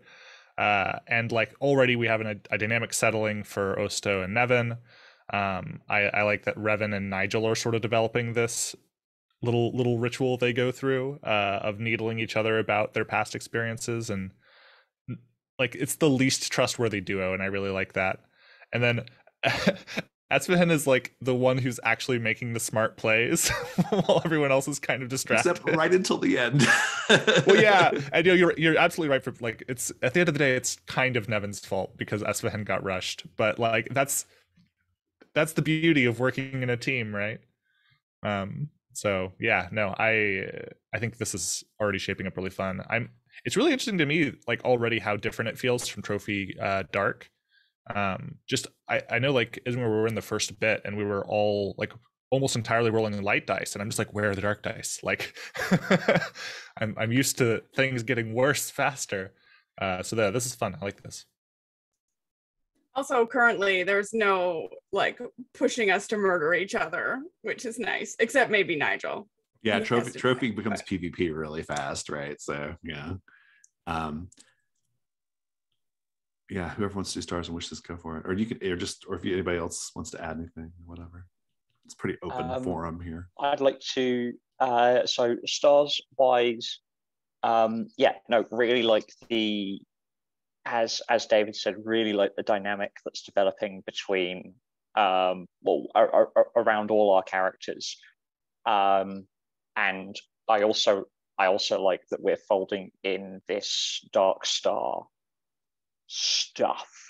Um, as far as wishes are concerned, I'd like to. Oops, I'd like to see some more interaction between um, Revel and uh, Esfahan, and just generally between Esfahan and the rest of the group, because um, not as a criticism, but you did kind of like go off on your own for a large part of the narrative. Um, and for also a few slightly self-conscious that my my question is the one that's kind of had a lot of weight in the narrative so far. So I'd like to see others come forward as well, and just add more chaos and complication to the to the story. Uh, stars for me. I, I also really enjoyed the uh, poisoning scene. That was really great. Um, I, I actually really liked that Esfahan went off uh, by herself. I I I think it's sort of um, like the movie version of our story made lots of sense to me. like I could see it Hmm. like playing Oh, out yeah. the way it played out. You know. Um, uh, so that I thought was really great. Um, I like I loved the interactions between Revel and Nigel, and I thought the Dark Star stuff was really fun. And I'll be curious to see where that goes um, I was happy to have an NPC that I was kind of able to get into the role play. So that was really enjoyable for me, um, as opposed to just being the person, you know, sort of uh, calling balls and fouls on the dice. Um, and and I thought Osto and Nevin's relationship was really fun. I, I enjoyed it quite a lot. Um, I, I like their sort of like, I like their sort of like himbo energy they've got going on, right? Like I think it's pretty great. So um yeah you have like revel this sort of like kind of uh the, who's got this like sort of like dark like kind of treacherous history. You've got osto and nevin with their like kind of uh himbo energy. And then esfahan seems to be like the person who's like kind of there to get things done you know? And i think that that all like is it's a it's a good dynamic. And i and the fact that it's already sort of arisen just in the first session i think bodes well for the future sessions. So i'm really happy about that. Uh wishes. I um I, I love we, we do have like a kind of lighter, more jocular tone. I think that's appropriate for the first set or two uh, of, of an adventure. I know by necessity it's going to get darker because as you go deeper into the catacombs, it gets darker and scarier. And so I will look forward to that. And uh, yeah, um, yeah, just really curious to see how you all uh, uh, handle things. And also another star too. I thought everyone did a great job with um, with Devil's Bargains and stuff today. That was really fun. Um, uh, some groups have a harder time kind of sliding into that part of the game, but you all did a really really good job with it. So it really drove the story in interesting ways. So definitely stars for Osto and Nevin's relationship. It brought me so much joy throughout today's um I wish I could say disaster fest. It was not a disaster fest. Um, I enjoyed that bit in the um priest quarters where um Revel and Nigel were just going back and forth, and Evan was just like, I don't care. I'm here to get shit. I'm gonna do it. Um, I enjoyed that uh you forced me to um exit the main area. For a second, I thought I was actually going to have to go up to the observatory, and I was like, "Do I do I get a rope and just rappel all the way down?" But there was a hatch conveniently. You could have totally gone to the Um, observatory. It would have been interesting. Yeah. I considered it, but then I was like, "Mm, I've been away from these people too long. I don't. They get up to too much when I'm away. Um, wish I wish I'd thought of this earlier because I thought of it about five seconds ago. But um, the connection between Osto and Espan, I kind of wish I'd made. I'd asked that it be a kind of um, not feedback loop, but a feedback valve where some of Espan's emotions just kind of get fed into Osto, and Osto's just left with this horribleness. I mean, I think the star bull condition, we can p- play with that a little bit, right? Because I'm interpreting the star bull as like the stars from the astrologer and the bull from Osto and it being, and kind of what, and the- the Mm. sort of interpretation of that. I think there's space for that for sure, you know. Yeah, it's, it's almost like a star-crossed sort of thing, right? Of of Mm. connection. So It's just like your energies kind of mingling, basically. Yeah. Like Nevin and a Osto's blood. waiting to. Ne- Nevin and Osto's blood uselessly mingling. right. Oh, I loved that tableau. Just having Osto like this, one hand on Espahan's forehead, the other hand clasping Nevin's as just blood drips, and Revel, Revel just being like, "This is unnecessary." pouring, Yeah. yeah, shoving holy water down his throat. like on on which note on which note one star that i um that i love and i want to kind of develop further is that revel clearly thinks that they're the adult in the room but it's actually Espahan is the adult in the room? I really like that. I also that's like perfect. I like I also really enjoyed my I, I really enjoyed Nigel's presence in the game and I like Nigel's vibe uh as I've sort of because I'm just sort of like you know extemporaneously doing this but I but I enjoy this sort of like vibe of like there's like a judginess there right? It's like it's very like judgmental and very like like um it also but it also kind of suggests that there's there's more to Revel and Nigel's past that is not being like spoken about because like they clearly are like kind of needling at each other, you know, like it just feels like there's more going on there. And I think that's the interesting to explore what all that big means. big So- big bad breakup energy yeah, they really that's what I was Oh, saying. yes. It's got it's got big like it's got big like X energy, right? Which I think is pretty great. Mm. So yeah. I'm Um, gonna draw from my Spire thing, and um, so there's this thing called an attractive foil where um, it's basically enemies to lovers to enemies again, and uh, it Yeah. feels like that. Does, yeah.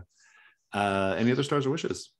I just want to say that I want to make it clear that even though Niven's attempt to help with blood failed, I remain convinced that that was in fact the thing that tipped it over the edge. it helped emotionally. I saved the day. hmm Just to be clear, I saved the day. uh, t- tying back, uh, Jason, to what you said earlier about like things are necessarily going to get darker. Uh, I think my other my wish is uh, to see how Osto and Nevin go from sort of happy himbo energy, like how how they face the darkness going deeper in. We've already like just killed a guy and just like, eh. Uh, so like I feel like there's definitely some seed ground for for some darker stuff with them. I, I'm really Uh, excited. I like the idea that we didn't start, not that it was planned, but we because we didn't discuss it, but the, the relationship didn't start antagonistic. Um, and maybe it will go that way, or maybe it will like fluctuate back and forth because that's like what real life siblings are like. And I'm really excited for what's Yeah. going to happen situationally with that. Any other stars or wishes? Okay, well, uh, that was a great session. Fantastic first session with a with a new group. Um, I will look forward to continuing next week.